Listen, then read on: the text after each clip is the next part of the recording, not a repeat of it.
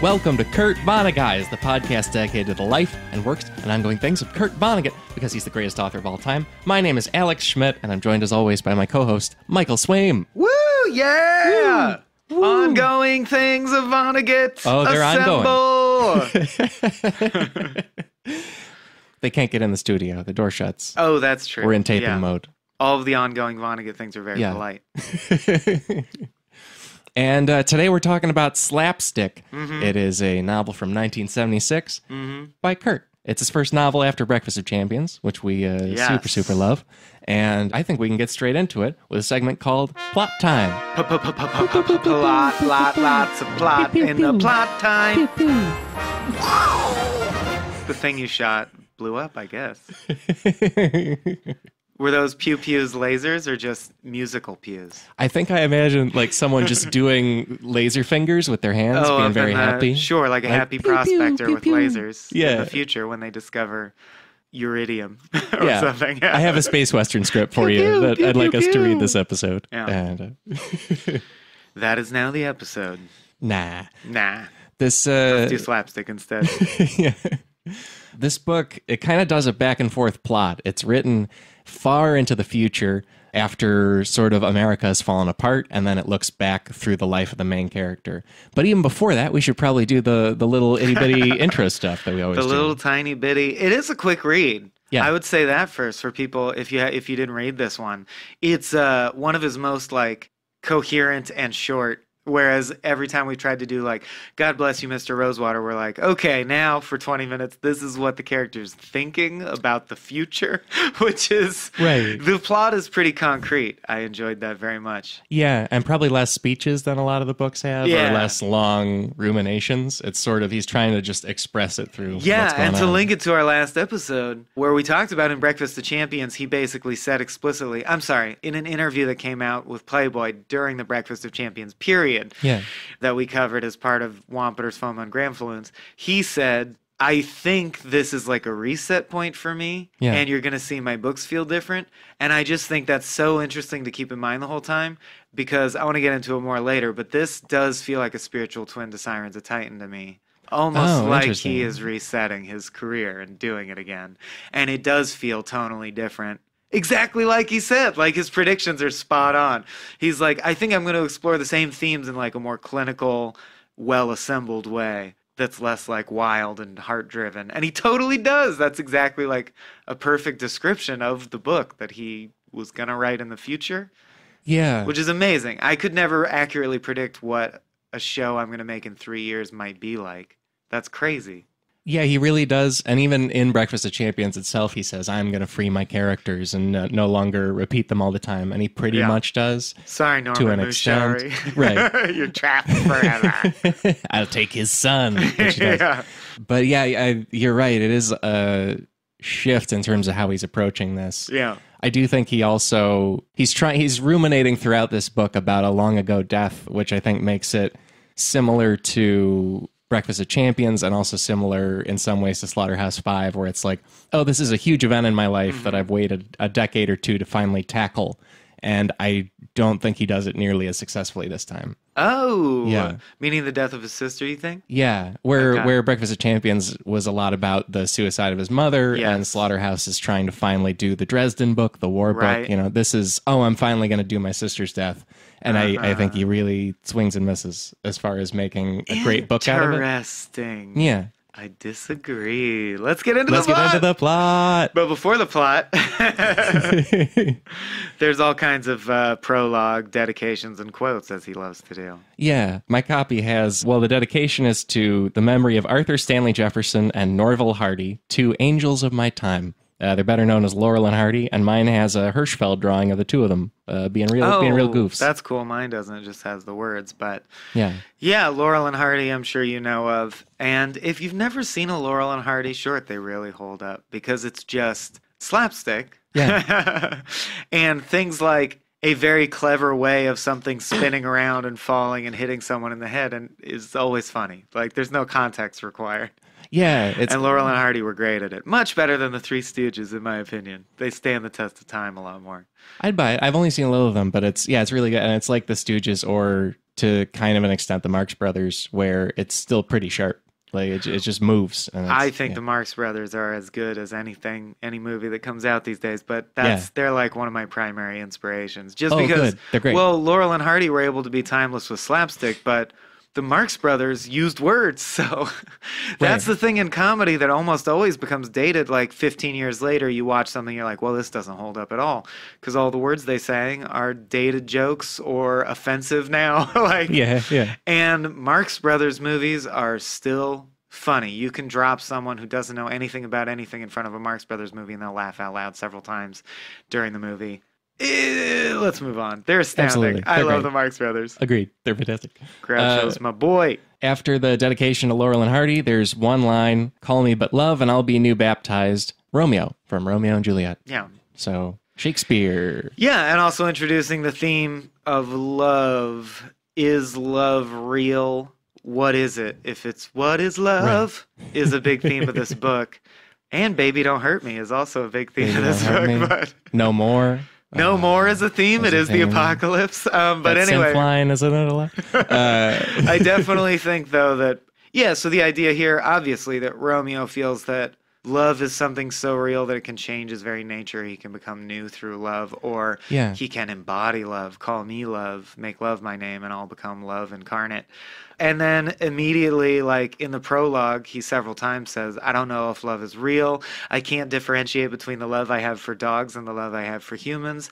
I don't understand when all these fictional narratives talk about true love, what they're describing, because I've never felt it. and yeah. so I think one of the main themes of the book is is love real? What is love? We talk about it all the time. Do we agree about what it is even? so that's that.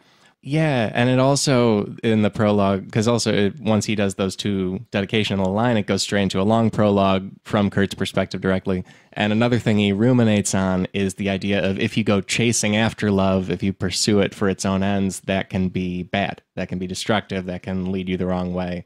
And I think he is acknowledging more through that Romeo line that people will do that anyway. They're just going to chase after it, even if they know it's a bad idea, or even if Kurt says so. you know, 'cause it's Well, maybe it's one of the confusing things for me, and I think this is meat leaking out. But yeah, Wilbur and Eliza agree that I love you is a stupid thing to say because they say it's like putting a gun to your head. The only proper response is I love you too. So it's just a demand for validation, blah, blah, blah, like that jaded view of what the interaction of love can be. But then, of course, there's a very important point where Wilbur screams, I love you, Eliza. And she's like, shut up. And he's like, but I mean it though. Like, I really feel it right now. I know, blah, blah, blah. So I just really have, still as a question mark, I wonder, does Vonnegut believe love exists? Is it good or bad? Is it a fabrication? And Yeah. we know that he believes that fabrications can be helpful, even though they're fabrications sometimes. So Right. is love a FOMA or a real thing or a fake thing that's not helpful? I can't, I don't know. yeah, it's, It's, a really tell. interesting question that the book puts forth several times. When he's also, and when he's writing this, he's personally progressed to a little bit of a different point than he was in previously in his life. He's he's been divorced for a few years now. He's mm. in a new relationship with the lady who's going to be his second wife, Jill Krementz. He's also living in Manhattan, which we saw in a couple previous books too. It makes him feel very kind of detached and distant from things because now his adult children are in all sorts of different cities Yeah. and his older relatives are dying off. He talks in the intro of this about his uncle Alex Vonnegut dying, and that was an important person in his life.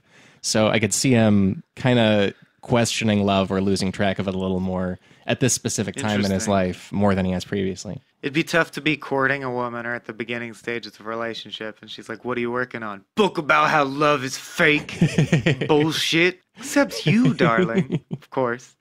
Also, I a lot of interviews later in life, he seems to, or he says like, "All Manhattanites are my brothers and sisters," or whatever. So it's interesting. Yeah. I'm sure he was. It was probably alienating at first, but it seems like by the end of his life, he had he had been able to believe the FOMA that all New Yorkers were connected to him in some way. Yeah, Got yeah. some solace from that. Well, and especially, I feel like a book like Timequake really argues that it's his home and nerve center. And Yeah. Because he has the whole, all of his people there all at once. Yeah. Yeah, Yeah. New but York, at the, but at this stage, romanticized. but at this stage, I think he makes it an island of death because he doesn't feel totally positive about it. yeah, New York, Yeah. the island of death. Yeah, let's get back to stuff that happened. Yeah, yeah. definitely. Um, Um, the rest of the prologue, it's a lot of. He introduces hi ho, which is the sort of refrain of this book. Uh, later on, he'll call it uh, sort of a senile outburst. I think it is So the author is senile hiccup. sorry. Right. Yeah. It's a journal style book, so the main character is writing this all down in their journal and you're reading it after their death. So he just says several times, I can't not write hi ho, I'm sorry. And then he says, like, I swear I'm gonna try to stop writing hi ho. Hi ho and Yeah. stuff like that. um, but it's like a tick he has because he's 101 years old at the time he's writing this. Yeah. And uh Well, the- crazy. so The, the main character is yeah Yes, yeah, yes, yeah, that's who what I mean. a clear Vonnegut stand-up. Well, he And, says in uh, the prologue, this is the closest I'll ever come to writing an autobiography. Of course, he hadn't written Palm Sunday yet, which is literally an autobiography. Yeah, it's really funny to me that five years later, which is zero time in novelist time, he writes an actual autobiographical Mm-hmm. piece, which we're going to do a live episode with. More on that later. Yeah. But yeah, it's, so he immediately, when I read that, since we're also prepping Palm Sunday, I was like, no, no, you're going to do more of one. You're about to. And he explains the Laurel and Hardy connection uh, and the connection to his sister, who died of cancer very young, and the idea that, well, as she was dying, she just described life once as vaudeville, slapstick, like just ridiculously comically grotesque things bouncing off of each other. And he says, so that's why this book's dedicated to Laurel and Hardy. It's why it's called slapstick, and that's what it's about. Yeah, and he, I think he says that their movies are perfect because those guys are trying to make the best of their situation in good faith all of the time, and so just watching them always put that effort in is the hook. That's what brings you in. And he says it's more important than love. He says two multiple things. Decency is more important than love, and that bargaining in good faith with destiny is more important than love. Yeah, So he's like, Laurel and Hardy movies never had a love story. That's why they're the perfect mascots for this book. All they were worried about is, oh, the task presented to us is this impossible task of getting a piano up this giant flight of stairs. Well, like we better roll up our sleeves and try to get the giant piano up the flight of stairs, Yeah. even though this is always goes badly every time we've ever done anything like this. um, and he thinks that's important to be able to like have faith that it's worth trying to go on in life. and, and especially the let's show each other common decency rather than love each other idea seems like it's really coming from him being someone who's gone through a heartbreaking divorce. Yes. that- and which I have not, so it probably didn't speak to me as and much. not 'cause- demand love of each other, just demand like politeness. Yeah, because I'm guessing in hindsight he thinks we should have just not fought as much either way, you know, something like Yeah. Really interestingly, I just want to point out, totally as an aside, this is just insane. He says in the prologue about his sister's death, and hers would have been an unremarkable death statistically if it were not for one detail, which was this. Her healthy husband, James Carmalt Adams, the editor of a trade journal for purchasing agents, which he put together in a cubicle on Wall Street, died two mornings before on the Broker's Special, the only train in American railroading history to hurl itself off of an open drawbridge. Think of that. This really happened. And it's like insane. he, even he's aware. Like, what are the odds? And Yeah. like in the ultimate, it's such a sad, brutal thing that would happen in a Kurt Vonnegut novel. Through random happenstance, Right. his sister found out her husband died horribly the day before she died of cancer. So they had tried to, she had thought their children would be well taken care of and shit. And the day before she dies of cancer, they're like, no, your husband also died. No one knows what's going to happen. Anyway, die Yeah. now. And he's like, life is crazy. like, that's comedic in its impossibility. Why did that happen? It's Yeah. nuts. Yeah. And the uh, yeah, and the her being his sister Alice, who he said before is I, I think the death he's trying to process with this, and they don't even tell her in the hospital that her husband died because they're like that's too hard on her. Yeah. But then somebody brings her a paper with the train crash in it, and there's a list of the dead, and there's a list like, of the dead, and she happens to read it. Yeah. Well, then that happened. And then he says, even still, since Alice had never received any religious instruction, she never thought of her awful luck as being anything but accidents in a very busy place. Good for her. And I think that's also one of the main themes of the book. Yeah, I think so Yeah. too. Yeah, and then he uh, talks a little bit about how when he lost Alice, he lost the per- the one person who he specifically wrote for. If you've ever read any of Kurt's direct advice about writing, one of his tips is to write for one person and not try to open your window and make love to the whole world because then you'll get frostbite or pneumonia, I think it is. Your Uh, dick falls off. Right. and so he lost his person that he wrote for and he felt an absence and a, a hole. And uh, he's kind of trying to process it in this book. But, uh, and her death happened in 1958. So this is 18 years later and he's Wow. finally Yeah. taking it on in a novel. And then he briefly talks about how much he hates writing and how every writer hates writing more than anything. And there's great quotes from famous writers who said, like, I never knew a blacksmith who was in love with his anvil, or the definition of a writer is someone who hates writing more than anything else. Yeah. it's great. Oh, and, and then also some little anecdotes about his brother Bernard, who does love his anvil, uh, and uh, because he's an atmospheric scientist and really likes that. And if you if you want to know more about him, there's an amazing book called The Brothers Vonnegut by Ginger Strand that gets into their back and forth. Yeah. uh, but he he comes up a lot in the intro as well, and they have some nice jokes back and forth. Nice. Yeah.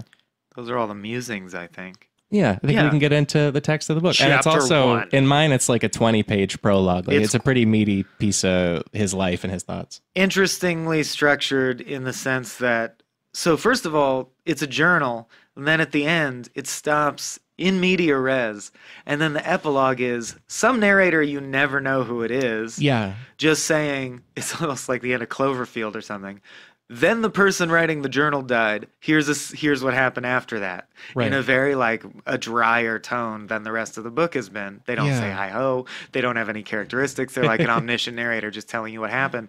And yet the epilogue is also very long and gives you crucial information. It's just crazy to me. I crunched the numbers page wise and it's like a full 21% of this book really. some people would skip because I know people who don't think to read prologues and epilogues. Oh, sure. And I'm just like, it would ruin the book if you didn't know the epilogue had a bunch of plot information in it. Like, it's not just a wrap up, it Yeah. explains future events that happen. Yeah. Right, right. So read the It's whole. so crucial. It's short, guys. Read it from cover to cover. This yeah, it's for it zips sure. by. Yeah, Yeah. yeah.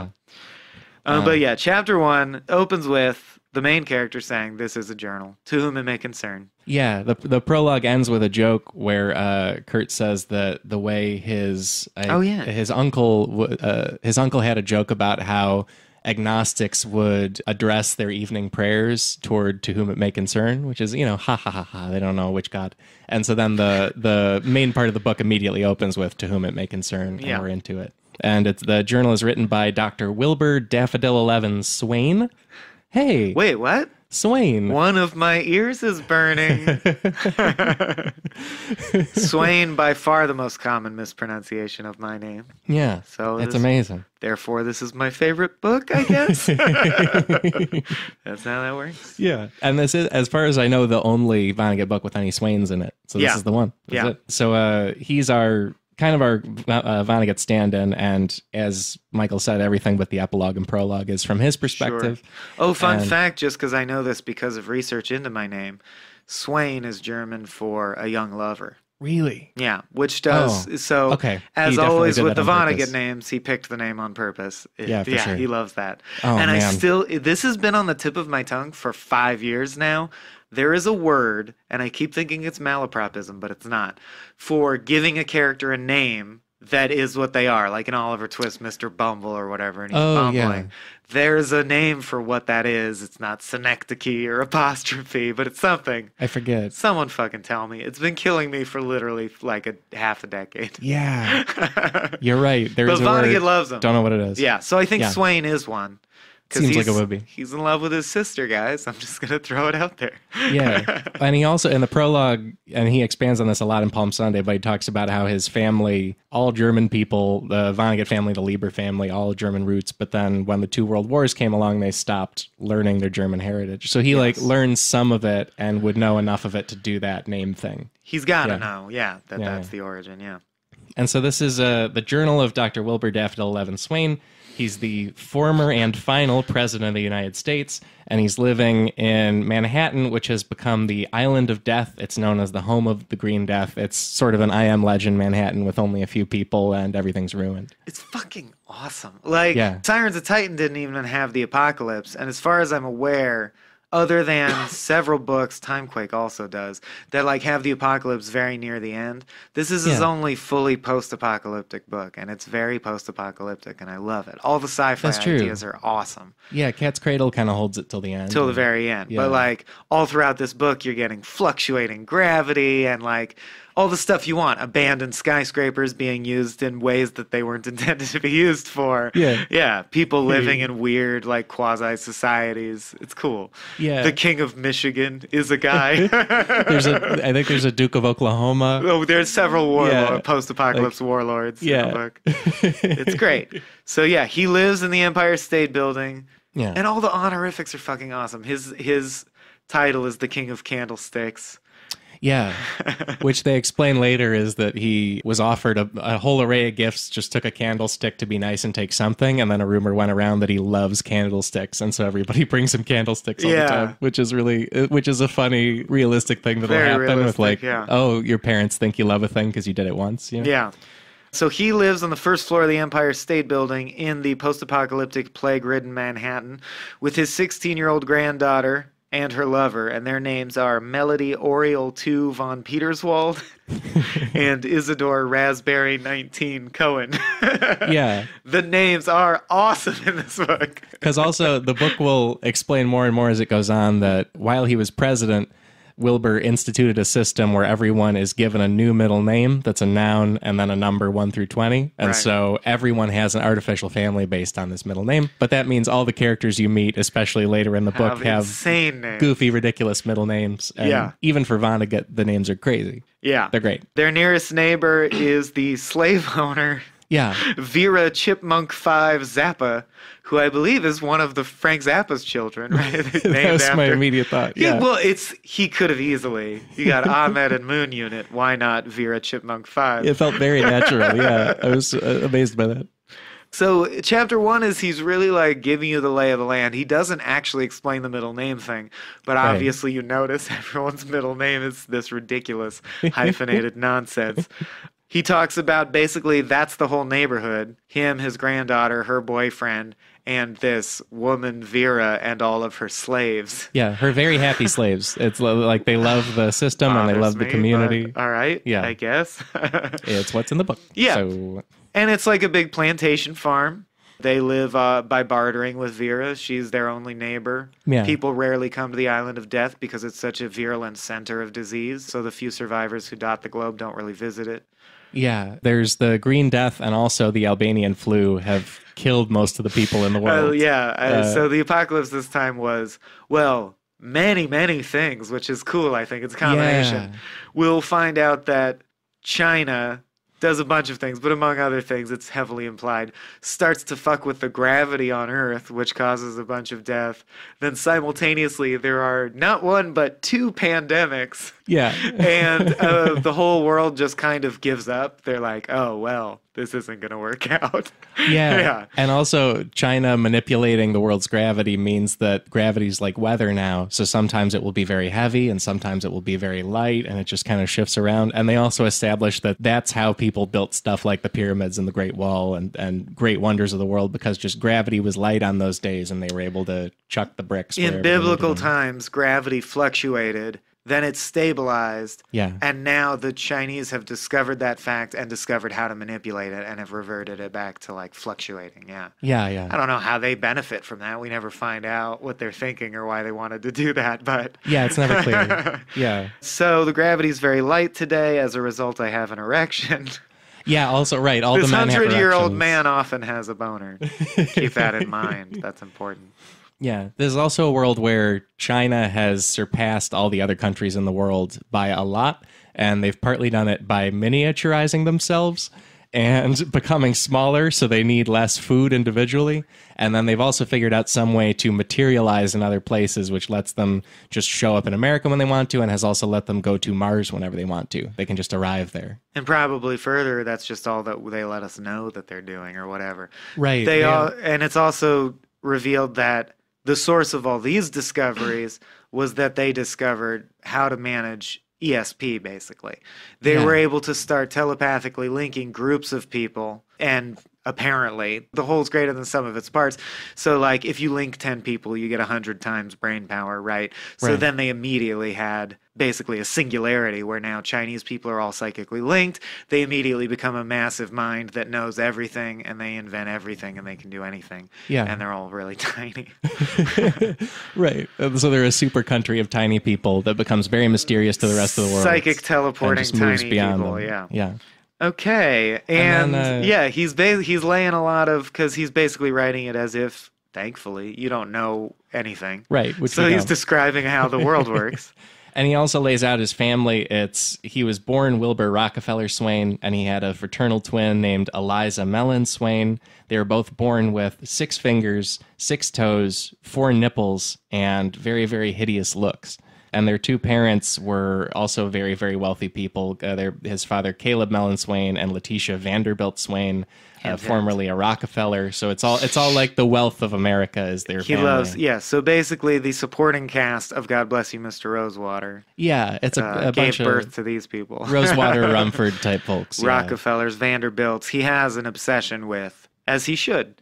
Yeah. The fact that uh, there's this one percent of people that have all the money for some reason, Yeah, yeah. and it stays in the family, which is bizarre. right. I mean, it's still odd to me that you can be born having five hundred million dollars. It just seems odd. Yeah. It's weird. It's like what a weird too. way to have live your life. But yeah, uh, I want to shout out a poem. He has a poem in the first chapter and a poem in the last chapter. And I think they're both pretty damn beautiful. Yeah. His poem in the opening chapter is about his middle name, which was randomly assigned, which is Daffodil Eleven. And he says the fact that he's a daffodil inspired him to write this poem about being a daffodil and about life itself, of course. I was those seeds, I am this meat. This meat hates pain. This meat must eat. This meat must sleep. This meat must dream. This meat must laugh. This meat must scream. But when, as meat, it's had its fill, please plant it as a daffodil. and then he says, and who will read this journal? God knows.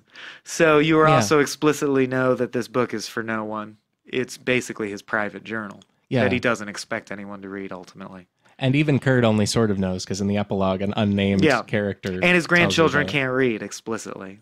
Right. Also, In yeah, fact, no one else in gone away. Manhattan can read that he knows of. Yeah. Yeah. He also says Melody and Isidore and all people of who were born during the apocalypse, which this is interesting to me because it's very different than other post-apocalypse movies and books. They have no curiosity about the human past. They don't care how the apocalypse happened. They don't want to fix it. It would be like if in The Walking Dead they were like, I guess it's always been this way with zombies. Let's just move forward. Right. uh, which is interesting. It's like, as far as they are concerned, the most glorious accomplishment of the people who inhabited the island of Manhattan so teemingly was to die so that they could have it all to themselves. They're just pleased Yeah. that they have a whole island. it's very chilled out. Uh, he asked them to name the most three important human beings in the history of Earth, and they say, You, their grandfather, probably Jesus, and probably Santa Claus. Yeah. yeah. And So he's they- like, eh, not bad. And he's like, "That's a good guess." Yeah, at least that gives you a very clear tone of the state of technology culture. This is the level we're at. Pretty Yeah. thoroughly post-apocalypse. Yeah. It's like uh, almost whimsically falling apart, I'd say, a little bit. Like, Yeah. It's, it's dark, but it's, you know, light Yeah. in its way. And the last thing in the chapter is that he says that when he asks them questions about the past or to try and think, they seem very unhappy. When he stops asking them questions, they're usually as happy as Schmitty the clams. And uh, and then the very last line of chapter one is, they hope to become slaves of Vera Chipmunk someday. right. That's their ambition It's like their life. goal. Yeah. To work on the farm because all the slaves seem really happy. We'll get to VonneWHAT. Yeah. We'll, we'll dig into it. Although Um, that's basically it. It's a short one. I had a little bit more. You had a little more. Yeah. Great. The only thing that really shot out to me is that he repeatedly describes the slaves as very pleased that they're slaves. And I just don't know if you should be saying that in any context. I was actually. I, Because it's, it's sci-fi. sound strange and one very specific case like it's not like he's saying slavery across a country was working. It was just like one person. He also doesn't ever say well. that the slaves are organized by skin color or culture or anything. Right, I think it's. But then I wonder why use the word slaves? It sounds like they're just the staff of people who work together on this farm. But they It's- yeah. unquestioningly say, no, she is the master and they are her slaves. Yeah. So you never get the details. But something weird is going on if you use the word slaves, I think. Right. It's not Like, great. Yeah, uh, why do they consider themselves slaves instead of workers? when and her family feels very background to, to me too. Like it's not crucial to any of. Well, the, yeah, you never know Yeah, all the details about this, but That's interesting. anyway, Yeah. you have more later. Um, Chapter two. Yeah. from there, he he lays out sort of his life from birth to now. He talks about how when he and Eliza were born as twins, the doctors assumed they were probably going to be mentally deficient in some way. For the record, this is all pre-apocalypse, so nor- Right, right, right. imagine the normal world. yeah, now it's it's normal times, and uh, the parents decide that they're going to take the kids up to the old family estate in Vermont. Before the family was super wealthy, they were ordinary Vermont apple farmers, and then one ancestor named Elihu Roosevelt Swain built the fortune. So there's a mansion up there, and they're going to sort of raise the children in seclusion there and try to turn them into whatever they can turn them into. They feel like it's like, oh, these these children will never be fully functioning adults. Let's just leave them there. yeah, so they're like the yeah the inbred monster children Yeah. that the rich family spends all the money in the world to make them not feel guilty, but like discards. Yeah, and also Uh, the doctors tell them that Wilbur and Eliza will probably die very young. It seems like they're not put together properly right. physically. So the parents intentionally don't invest much emotion in them. yeah, but then they just keep living. And then, of course, they, he lives to 101, clearly. he does tell you immediately up front, and I had a dizygotic twin named Eliza. She will be killed at the age of 50 in an avalanche on the outskirts of the Chinese colony on the planet Mars. right, and he, and it's just another great Vonnegut, like, this will happen. now, see how I get there, because it seems impossible. yeah, and we we laid a lot out a lot of the world building up front so that what we're talking about makes sense. But he hasn't told you any of that when he just suddenly tells you, by the way, my twin sister dies on the Chinese. Like you don't you understand any of that. he really gets off on that later. trick in this one. Yeah, Like I love that later when the Chinese official Fu Manchu, okay, I guess I have more than just the slaves thing, Yeah. is reading their notes. He's like, "Did you find anything interesting?" And he's like, "Yes." A ticket to Mars for a large Caucasian lady in Peru. And I love that out of context, you're like, well, what the fuck does that mean? but if you've read to that point in the book, you're like, I know what he's saying. of course, on board. Right, got it. Vonnegut's so good at slowly and clearly, and this is a great trick for all writers, especially sci-fi writers. He introduces insane sci-fi lexicon building blocks one at a time until by the end you fully understand the workings of this entirely new system and world. He's really Yeah. good at that. I love it. Yeah, and and that aspect, as you describe it, it is very Sirensy the way he does that. Especially that oh, you will have a future death in space. And he's like, very, here's what harmoniums are. Here's Yeah. their whole life cycle, so you feel like you understand their ecology. It's Right. cool. yeah, yeah, It's good sci-fi. It's like doing your due diligence as a good sci-fi author. yeah. So yeah, they're holed up in a mansion, right? Yeah, and they as they grow up, they are not just intelligent; they are actually very, very intelligent, and they will later realize that the source of their intelligence is when they are physically near each other. Especially if their heads touch, they become a ge- one single genius by Yep. melding their minds. And also, if they're far apart from each other, they become normal intelligence, may be a little bit dumb. And so they, But they've never been farther apart than the grounds of the mansion. right. So they've always been close together. Because And we'll see later if they get separated even more, they go below normal intelligence, basically. yeah, yeah. Or it Um, becomes painful or sad in some way. It's a Yeah. depressant. And remember, this is, the whole thing is an analogy for the death of his real life sister. So I think that's really easy to track, right? He feels Yeah. that his connection to her fueled a lot of what's beautiful about the works of Kurt Vonnegut, the, the legendary author. And he feels like without her, how's he going to go on? He's going to be dumb now. Right. Yeah. So it's a it's beautiful. a metaphor for that. Yeah. They also realize that there's this huge staff there to wait on them hand and foot because their parents think that they're stupid. And so they start to decide as they grow and become intelligent that they need to continue to pretend to be stupid because otherwise these small town Vermont people will lose their paying work taking care of them. And so if they remain stupid, it will be a good service to the small town Vermont folks who need jobs because otherwise they're just stuck in this town. yeah, and they say like they told us in so many thousand little ways that that's the way they wanted the system to be maintained.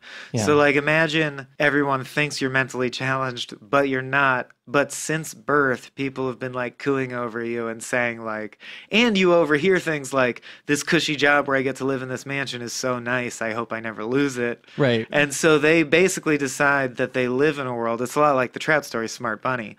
They realize, quote unquote, and he says later, in retrospect, I think I was right. I think we were right. Yeah. They realize that dumb people do better in the world than smart people, and people want you to be dumb.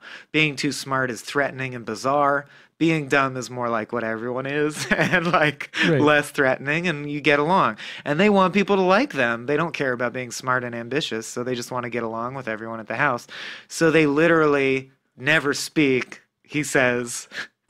they blow snot out their noses and fart and say buh and duh. And my favorite is one of his favorite catchphrases is flock a butt. yeah, yeah. it's just a series of syllables he says a lot. So like the butler will comb his hair and say like, now what do we say? And he'll go flock a butt, and they'll go, very good, very well done. Great, sure. Uh, so everyone thinks they're doing great for kids who are mentally challenged who are expected to die, but of course secretly they are of genius level intelligence, Yeah. and it's implied, if not explicitly made clear, it's because they were born with a natural ability to link their minds psychically Right. which the Chinese l- have discovered how to do, I guess, some, somehow through like experimentation. Yeah. But they have the natural gift, so when they're together, they have double brain. Yeah, they do, and they also uh, they find out that the mansion is full of secret passages, and they use those to move around and be smart secretly while they're outwardly stupid to staff. And then they also read the entire massive library in the house, so Right. that makes them more intelligent. so it's totally a superhero origin story. yeah, it's a little bit Wayne Manor. Yeah, They're locked in Wayne Manor and they have secret identities where they're secretly constantly 100 hours a day or whatever, training their brains until they're amazingly yeah, So we get the idea that they're super geniuses by the time they come of age and they even they hide all these writings they make of all these theorems and theses and doctoral works that the academic community would flip out about if they ever got out but they just keep them in the mausoleum. The mausoleum of the Swain family on their grounds they just roll them up and put them in a vase and like leave them there. Yeah, right. and they're like these are the interesting things that we like. It's like our clubhouse. We don't care to share it with anyone. Yeah, yeah. And uh, and they also are visited annually on their birthday by their parents. Their parents can only stand to see them that often. Now that they know they're going to live the whole time, they feel Right. bad, so they come once a year. yeah. And uh, Wilbur and Eliza keep up the show of being mentally challenged for them at each birthday. And then on their 15th birthday, they overhear their parents finally snapping and not being able to take it Yeah. anymore. By the way, by the time they're this old and this big, they're described as two meters tall, which is just over six feet, which is not that big. But Yeah. but they're also described as because of their, their like Neanderthal bodies. Right. Without trying, they can knock walls down, break people's arms. So like people are also scared of them. Now they're like Lenny from Mice and Men, where everyone's like, Yeah. keep them calm because they could destroy us. Right. Yeah. So. Yeah, with like a, a Marfan syndrome kind of look. and, uh, Exactly. yeah, sure.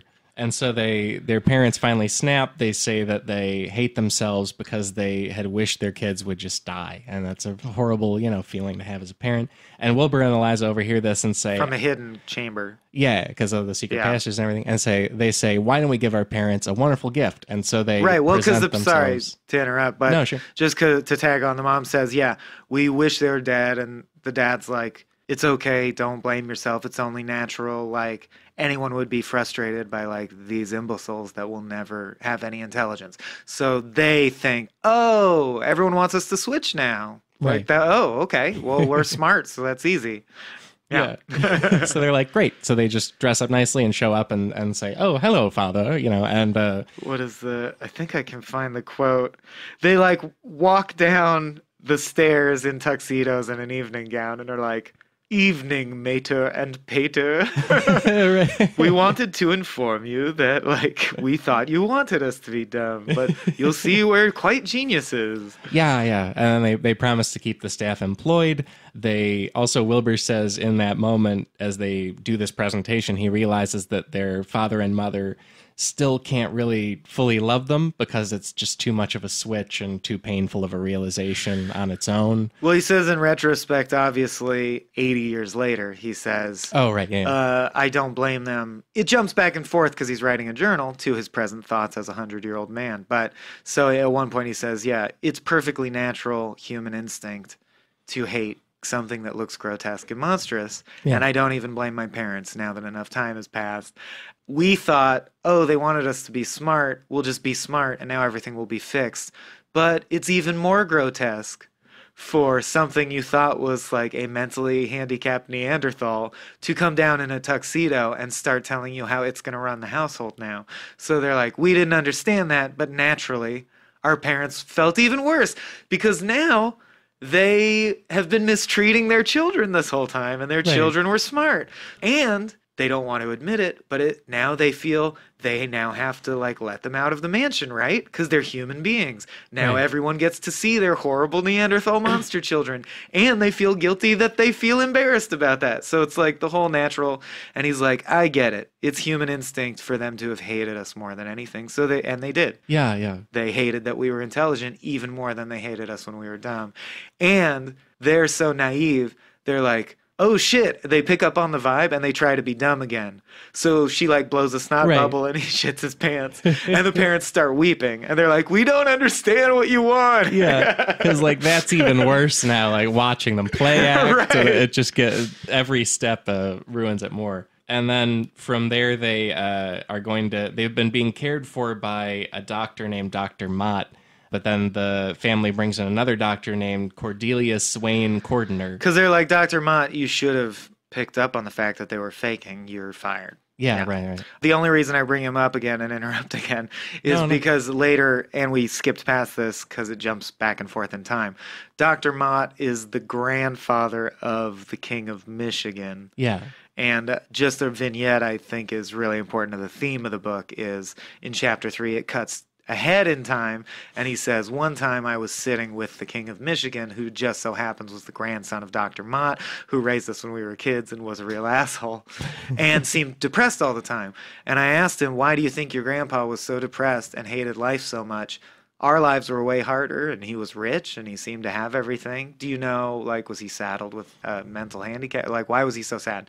And the important part, or the blurt, I guess I should have saved it for blurts, That's right. is the King of Michigan says, God, I don't know. What kind of American knows anything about their grandparents, for Christ's sake?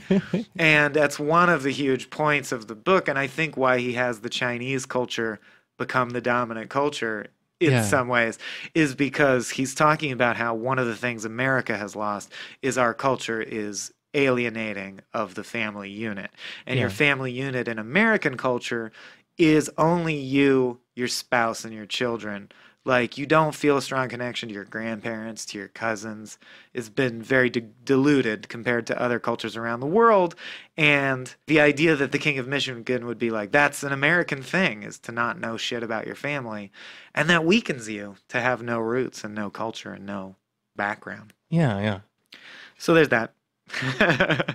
and I've completely diverted us, so I forget where we are in the real plot. So No, you to save point. us. So they get tested by Dr. Cordelia Swain Cordner, The new doctor. and Whose she, middle name is Swain? right? Her Is she related name- to them? I forget. She's like vaguely related and hates herself for it because she wishes she was an up by her bootstraps person, but she has some Right. rich blood in her, Yeah. and so she there's a lot of back and forth about that. And she also tests their intelligence officially because the parents are like, okay, they're intelligent, they're they're getting toward being adults. We need to figure out what to do with them now. and they promise they will get a perfect score. Yeah, they, they do. They're like, trust those parents. We're smart. It's Right, not right. going to be a problem. Uh, But and- she separates them. Right. so she tests them separately and they freak out because they're like, oh, no, no, we're dumb if we don't do that. And they also say that they have come up with, they hate being apart so much that they even come up with a nickname for the identities they have when they're separate and they don't have each other, which is Betty and Bobby Brown. Like they have to treat it as a whole different identity when they're separated and right. stupid. So he's like, of course I failed the test. I'm Bobby Brown right now, which is a dumb guy. It's like Yeah. a name for his dumb alter ego. And they eventually complain to the point where the parents are like, well, can you please let them do it? The- Right. The doctor doesn't want to. But they're like, look, if it won't hurt, let them take the test together and see if they get a genius score. So they finally let them retake the test together. And it turns out something we didn't know till now, because the narrator finally fills us in, that when they put their brains together, like just literally like physically lean their heads together or even in the same room, they're pretty smart. Yeah. But when they're thinking really hard and like solving a problem and when they come up with these theories of gravity and theories of relativity and shit that are genius level, they basically have to fuck. Yeah. Like, uh, It's a little bit unclear exactly what it is from House Described, but it's pretty much sex. But Kurt, as the narrator, uses the word incest. Like he says, Yeah. this book is about incest in part. So there's no insertion. And he says it's non sexual, meaning like they aren't feeling sexual arousal. Arousal. They're feeling the thrill of discovery and thinking and science and stuff. Right. But physically, they have to mash their body, naked bodies together really hard. Right. And like he said, and it really helps if they're like sniffing each other's crotches. It, it, it boosts their brain Yeah. power. And that just happens to be the way it is set up physically, and there's nothing they can do about it. yeah. so they're like, I lo- just love the ending. Is I'm paraphrasing, but he's like, anyway, we aced the test. The next day, I was sent to a home for severely disturbed children. right yeah and they uh they were like i also i don't know how physically they would have done all that action and taken a test. I don't Like, understand it totally. bubbles on doesn't make sense to me. Yeah. but uh it's fine. So yeah the family's plan becomes oh they need to be apart forever. And Uh, like they're disgusting pervert right. monsters. and so they send wilbur to a school for disa- uh, disturbed boys and they just keep eliza in the house because the diagnosis is wilbur his half of their intellect could be like a manual laborer or something you know and said that he could work at a gas station, maybe. Right. And then Eliza, her half of their intellect will never be a functional adult and she just needs to be supervised the rest of her life. And he says the reason that is is because she was sort of the right brain and he's the left brain. So like when they were Yeah. put together, he learned to read and write and do math, but he never had the ideas. She would be the one to say that well, if that's true mathematically, wouldn't that mean gravity was variable in the past? And he'd be like, oh shit, I never would have thought of that. But as a result, she only has intuition and she doesn't read or write or do math. So Right. if on IQ tests, they're like, oh, she's the dumb one. Even though, of course, he thinks she's the smarter one, which I think is a parallel for how Vonnegut has all this fame and recognition, and she's just some lady who's only famous for being his sister, but I'm sure he thinks of her and thought of her as just as smart and vibrant inside as he is, if not smarter. you Yeah, know? yeah, and yeah. yet she was never famous for all of her great thoughts, but he is. Right. And this guy, Wilbur, will become the president of the United States, like through no credit of his own, really. Yeah. And in a process that he doesn't even really describe the details Understand. of. We actually, As a narrator, when he becomes not like, "Yeah, you know." president, he's like blacked out on drugs at the, Right. and he's like, I, and then I ran for president, I guess, and I won. Yeah. yeah, And but not yet. So they Wilbur goes to the school. He manages to from there go to college and then go end up at Harvard Medical School. Meanwhile, Eliza is cloistered off in the house the whole time. Also, Also, very importantly, he says from the moment he's driven away, he begins to forget. Like, Yeah. so I just want people to know when he's at school and everything, his state of mind is his fam- he says my family told me I had a sister Eliza and I was like oh yes I dimly remember like a girl in a vegetative state who's better off in an asylum right. that's right The whole thing. like he immediately forgets that he cares about her or that she was connected to him yeah, and he and- describes it as protection from trauma. That like the brain Yes. just shuts it off. Yeah, because he knows there's no way back to her, and he just forgets it. But he kind of becomes a self-centered douchebag, Yeah. or at least in like he really enjoys. Because of course he exceeds all expectations. They thought he'd be a gas station attendant, but he's smart enough to go to Harvard. Again, he's not Einstein, but he's real smart. So everyone's impressed. People write articles about him because he's the very smart, weird-looking guy who's going to Harvard Medical School, and. uh pretty girls at school start to like him and go out with him and have sex with him because he's so uniquely ugly looking. Yeah. it's a novelty. So he actually has a fairly decent sex life, even though later he says he has the genitals of a baby field mouse. But uh, yeah, that just gets tossed off in the middle of it. Yeah. but so he's going through this like playboy phase where he's still rich and he's pretty smart. So of course, plenty of people will overlook that he's hideously ugly. He's a goddamn Rockefeller doctor of medicine from Harvard. Right. So he leads a pretty baller life and completely forgets Eliza. Yeah, yeah.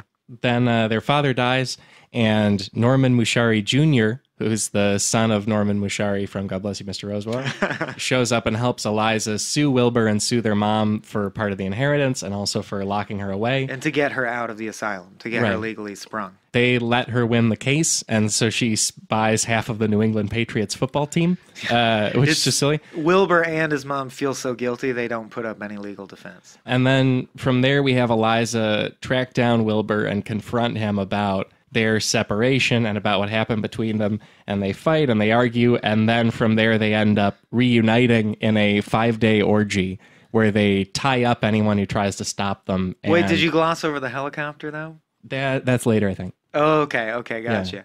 Oh, right. She comes in and is just like really like, fuck you, I don't want anything to do with you. Yeah. For a while, I'll see you in court. And he's like, I don't even recognize you. You're this bent over, hunched, like withered old woman. Yeah, she's And- been drinking and smoking. Right. and, and And then she drops her facade and is like, touch me. And you're mm-hmm. like, you as the reader, obviously, you're like, oh, here it goes. Something crazy is going to happen. Right, yeah. Yeah. So they get together and do that, and they end up tying up everyone who tries to stop them, only going out for food briefly, and writing an entire book in the middle of it. Over the course of five days, that they don't remember where they were just naked the whole time, except when they went to buy food and like snorfling each other's crotches and writing a book. Right, right. Yeah, And which when- again, don't know how you mechanically do it. But when they yeah. were done, they uh, were able to publish a book on child rearing called The Cry of the Nocturnal Goat Sucker by Betty and Bobby Brown. Yeah. The only thing the publishers changed was the title because it's fucking insane and makes no sense. they just changed it to like child rearing. No, they made it so, what you went and had a baby. So you went and had a baby. Yeah. But it was originally called The Cry of the Nocturnal Goat Sucker as an in joke because that's what they call the whippoorwill yeah, yeah. a nocturnal goat sucker as an in joke between them. But anyway, And then- the end the point being the child rearing book was so well written as to become the third best selling book of all time behind the Bible and the joy of cooking. Yeah. and he's like, was it popular? Oh, you know, kind of. It was only the third most popular book in the Of history of, books. time, yeah. And then Eliza leaves after this because she's feeling shame from this orgy they've done. And Wilbur says he never sees her again. He'll hear her voice twice more Before after dies, after yeah. medical school graduation and while he's the president. And she moves to Machu Picchu because all the rich people who are not Chinese have been kind of gathering there and building a last It's stand like the Cayman. Islands of Yeah. yeah, as the world is falling apart except for China. The rich people decided, or it's the Switzerland during World War II. That's like where to flee. Yeah, Everyone's like they fleeing build to condos Machu on Picchu it for some reason. Yeah. Uh, and it's in this same passage, incidentally, that we briefly cut ahead in time for the hundred year old narrator to say. And of course, now I know all the secrets about life, death, and the afterlife, how the afterlife sucks, and so on. Which is just a huge bomb to drop that is not explained. Yeah. And I love it because that's Yeah. going to become the main focus of the second half of the book. Yeah. So he says, like, I'll only hear Eliza's voice twice more, then she'll die. Of course, now I know that the afterlife is terrible. Anyway, more on that later. From there, he graduates from Harvard Medical School. Eliza flies over it in a helicopter and just, I think, shouts at him for it. they have a big graduation party. Yeah. He's at his graduation party at like one of the Rockefeller, you know, big apartment buildings, and someone comes in and tells him he has a visitor who wants to see him outside, which is it's facing Central Park, I think. And he walks right outside, and there's a helicopter hovering above Central Park. Yeah. And it's Eliza with a bullhorn, and he can't see her face because it's night and there's spotlights. But basically, they have a brief conversation. That's one of the two times he'll hear her voice before she dies. Yeah. And then also Dr. Mott shows up in person and gives him a note of if you can do no good, at least do no harm, Hippocrates.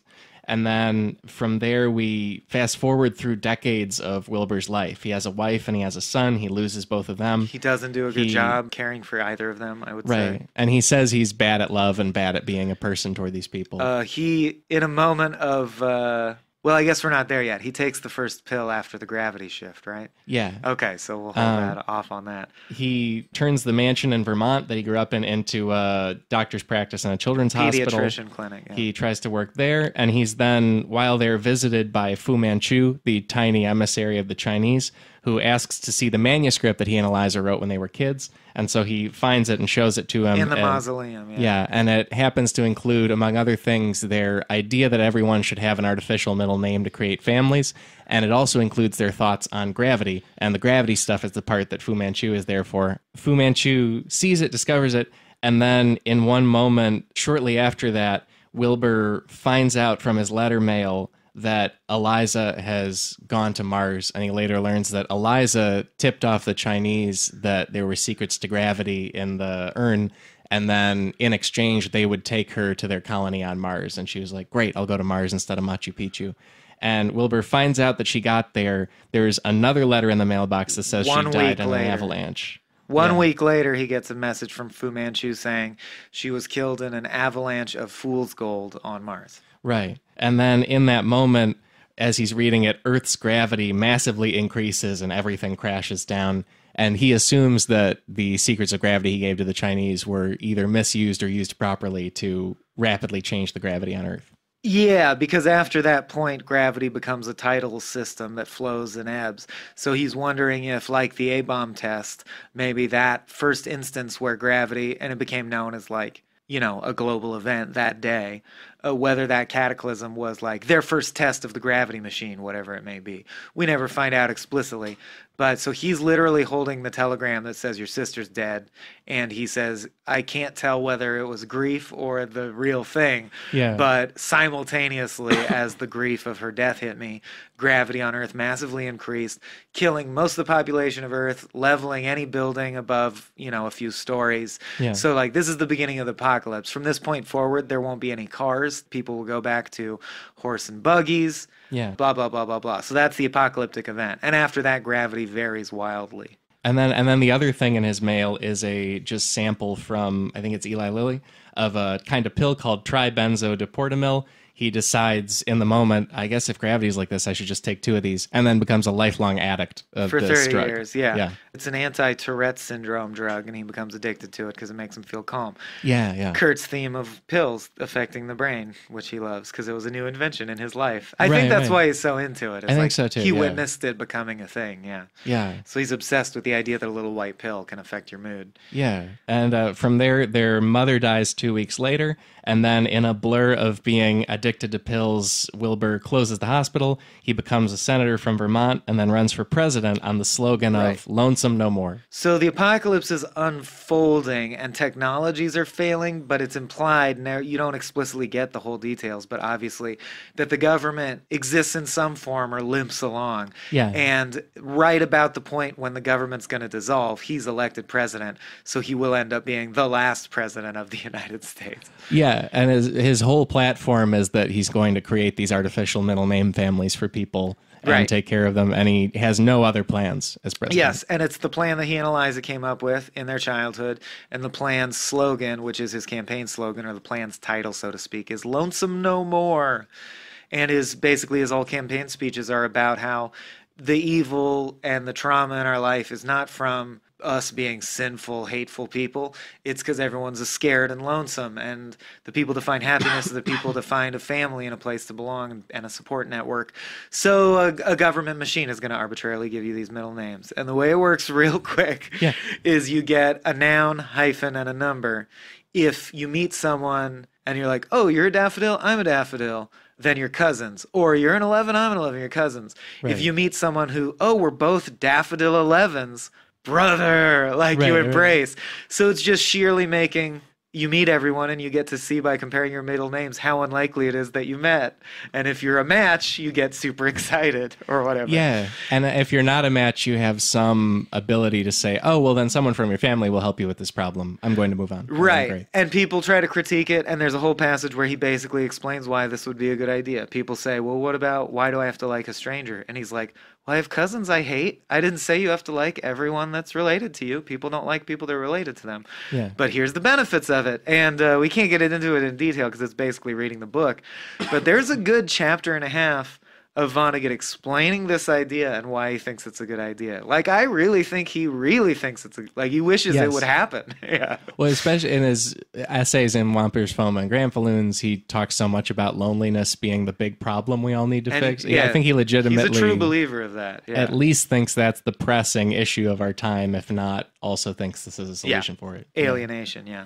And he, he even, uh, once Wilbur's elected president, is using old Nixon papers to help power the computers, like they're burning them or something. Oh yeah, power. they and he burn says, all the speeches of Nixon from the Library of Congress Yeah. to power the machine to make the names, and that's straight up just because Vonnegut hated Nixon. That's Yeah. got to be just a slam. yeah, because he had he had resigned two years earlier. He at this erases point. him from history. And he and he also says even Nixon's crimes were motivated by loneliness because he wanted to join the family of criminals because at least that's a family. Like, I don't think he was evil. I think he just saw brotherhood in corrupt officials. He was like, "There's a family I could be a part of." yeah, yeah. Wilbur also marries a 23 year old named Sophie Rothschild. She On his 70th birthday. Right. Disgusting, dude. and she leaves him mainly because she's so disgusted by the middle name situation and because her middle name is Peanut Three, which she feels is beneath her and too much of a ground hugging noun. Peanut sucks and three is too low of a number. She Yeah. wanted to be like Eagle 99 or something good because she used to be a Vanderbilt and she's like pissed off. Yeah, yeah. it's so funny. and it's also funny, he says, as the 100 year old man, he's like, I don't know if it's cosmic justice or whatever, but I must say the Peanuts did turn out to be like a shitty family. Yeah, like through really sheer funny. odds, all the Peanuts have an unusually high incidence of being like shiftless criminals and shit. right, like she was kind of right. so she leaves him, And then the and the yeah, the plague hits. yeah, uh, So he's hanging out in the White House, but the country basically doesn't exist. yeah, the country disintegrates to the point where there's no more America about two thirds of the way through his second term. He There's- gets reelected, but then it's it. There's no Uh, more electricity. He doesn't have any way to get communication from the outside world. So he keeps living in the White House, but there's no any he's not really the president, really. The country also adopts a dominant religion, which is the Church of Jesus Christ the Kidnapped, and the church believes that Jesus is, has been stolen and hidden away Well, by people. yeah, they believe and so the- Jesus has returned. That's why everything's so apocalyptic. Yeah. We just got to find him. Where is Right. that sucker? and so adherents are just constantly looking around physically all of the time. Like they're always jerking their neck around trying to spot him. And Wilbur is holed up in the White House pretty much on his own. The, there are fewer and fewer calls, and then he's just there. And he taking also- drugs he says the side effect of the drugs is it made him love to count things so he's just Yeah. like on drugs wandering around the white house counting how many pillars there are in the hallway and stuff Yeah. like that yeah and also feeling confident. He's just always feeling feels good. great, yeah. yeah, yeah. And then he gets one letter from a widow in Urbana, Illinois, saying that her husband, Felix Bauxite 13 von Peterswald, figured out a way to talk to the dead. It uses a particle accelerator with like a lunch pail on top of it, and you can just talk to people in the afterlife. And they've spoken to his dead sister Eliza, and she needs to talk to him, so he needs to come to Urbana. she's writing him to say your sister wants to talk to you from beyond the grave come Yeah. here yeah And he, uh, at the same time though two people show up at the white house right, one is carrying the letter yeah, and the other one is a dude in a full like clean air force one secret service like pilot garb yeah. And he's like, let me guess, Halloween? and, the, and the guy whose name turns out to be Bernard V. O'Hare, of course. Or B, I can't remember. Just no, no middle initial. Oh, he's just, Bernard, O'Hare. Yeah, Kurt's real life best pal. yeah, Is like, what the fuck's going on? yeah. Because he was assigned to be the president's secret crisis helicopter pilot. Right. And he's been sitting in a bunker with a fully fueled helicopter for like 11 years. Yeah, so he's just been waiting this out. And he finally came out to ask what's going on and why he's no one ever talks to him or what's going on. Yeah. And he's like, "Oh, really? Well, I have to fill you in on a lot." And he fills him in on everything that's happened. Right, and then their their plan is because there's also one only one remaining member of the White House staff who was a dishwasher who happened to also be a Daffodil Eleven. So, he, feels like a refuses to leave because right. he's his brother of the president. And so Carlos the dishwasher and President Wilbur and then pilot Bernard V. O'Hare, or just Bernard O'Hare, they say, okay, we'll take the helicopter. We'll fly to Indianapolis to drop off Carlos because there's a lot of daffodils there and he can have a family. Then we'll go to Urbana to talk to my dead sister. Sister. Then I'll go back to Vermont and like retire or something. That's the plan. And then he says, and then your gift is please take the helicopter, the remaining fuel, go wherever you want, live your own post apocalyptic life. It's on you now. Yeah, And yeah. I dub the Eagle One. Because the guy was like, oh, all this middle name shit happened and I didn't get one. And he's like, fine, you're Eagle One. and he's like, "Yay!" that's awesome. Yeah. It felt like that Life Aquatic scene where Willem Dafoe gets to lead the second squad. Yes, it's like, totally. oh yeah, yeah. uh, and then, so when they do land in Urbana, which is a big daffodil city, it turns out. Indianapolis. Sorry, Indianapolis, which is a big daffodil city, just meaning a lot of people who happen to have the middle name daffodil wound up there. Yeah. he's greeted so warmly and he witnesses how the government works what like the little local government that still exists so compassionately and so well that it gives him full confidence that the middle name system was a great system Yeah. he wishes it could have been implemented earlier and i think that's vonnegut's way of saying you guys should really do this like really i think it would be good Before it's too late. Exactly. Yeah. So this is saying, oh well, they came upon the idea too late, but look how nice and compassionate these people are as they march towards death. And even Bernard is like, I wish I was a daffodil instead of a stupid eagle. After he sees how nice all the daffodils treat him because he's a daffodil. Yeah. And I think then they just let him be a daffodil. They're like, oh okay, you're yeah, that's right. He says, Yeah. fine, then you're a daffodil because also it's the apocalypse. So everyone's like, we're all brothers and sisters now. Fuck it. Yeah, yeah. And he gets to find out a bunch of stuff about how the system worked. All the people who had 13s would have these secret clubs called 13 clubs with black cats and spider webs and shit that no one else was allowed in. Yeah, like horror stuff. Which is So great. he basically tours the town finding out that his system worked really well, even though it didn't have a chance to work early enough. Yeah, even though everything fell apart anyway. Yeah. Yeah. And he also, as they were flying, flew over the Battle of Lake Maxinkuckee, which is a lake in Indiana where the King of Michigan's forces were fighting the Duke of Oklahoma's forces. And he said it was a pretty lackadaisical battle because there weren't any machines. It was just humans with implements kind of going at each other. And he says that at least it wasn't a massacre. And then instead of going straight to Urbana, he accepts an invite from the King of Michigan to go meet him at the King's like palace on Lake Maxinkuckee now because Yeah. he won and he built this thing there. And so he goes and meets with the king and they Who basically wants him to admit the apocalypse has happened. America doesn't exist. You're not the president anymore. I Yeah. am the captain now. and he, the King of Michigan makes Wilbur sign a document saying that the Louisiana Purchase belongs to the King of Michigan. Right. And Wilbur's like, yeah, sure, fine. and he'll never try to raise the U.S. Army or fight him or anything. Yeah, Right, he gives up. And then he's like, fine, can we go? And from there he goes yeah, he's to. like, I don't really care. Yeah. Also, I love. He says, "I made my signature as tiny as I could, like a little ant." And then I said, "Here's America. Have it in good health." like I don't give a shit. yeah. And from there, he finally goes on to Urbana. He speaks to Eliza through the through the afterlife. It sounds like the afterlife is very boring. They call lame. it the turkey farm. Yeah. You don't get a lot of details. I, I always confuse this with because in uh, you know is it Cat's Cradle where we get the depiction of it as a felt pool table.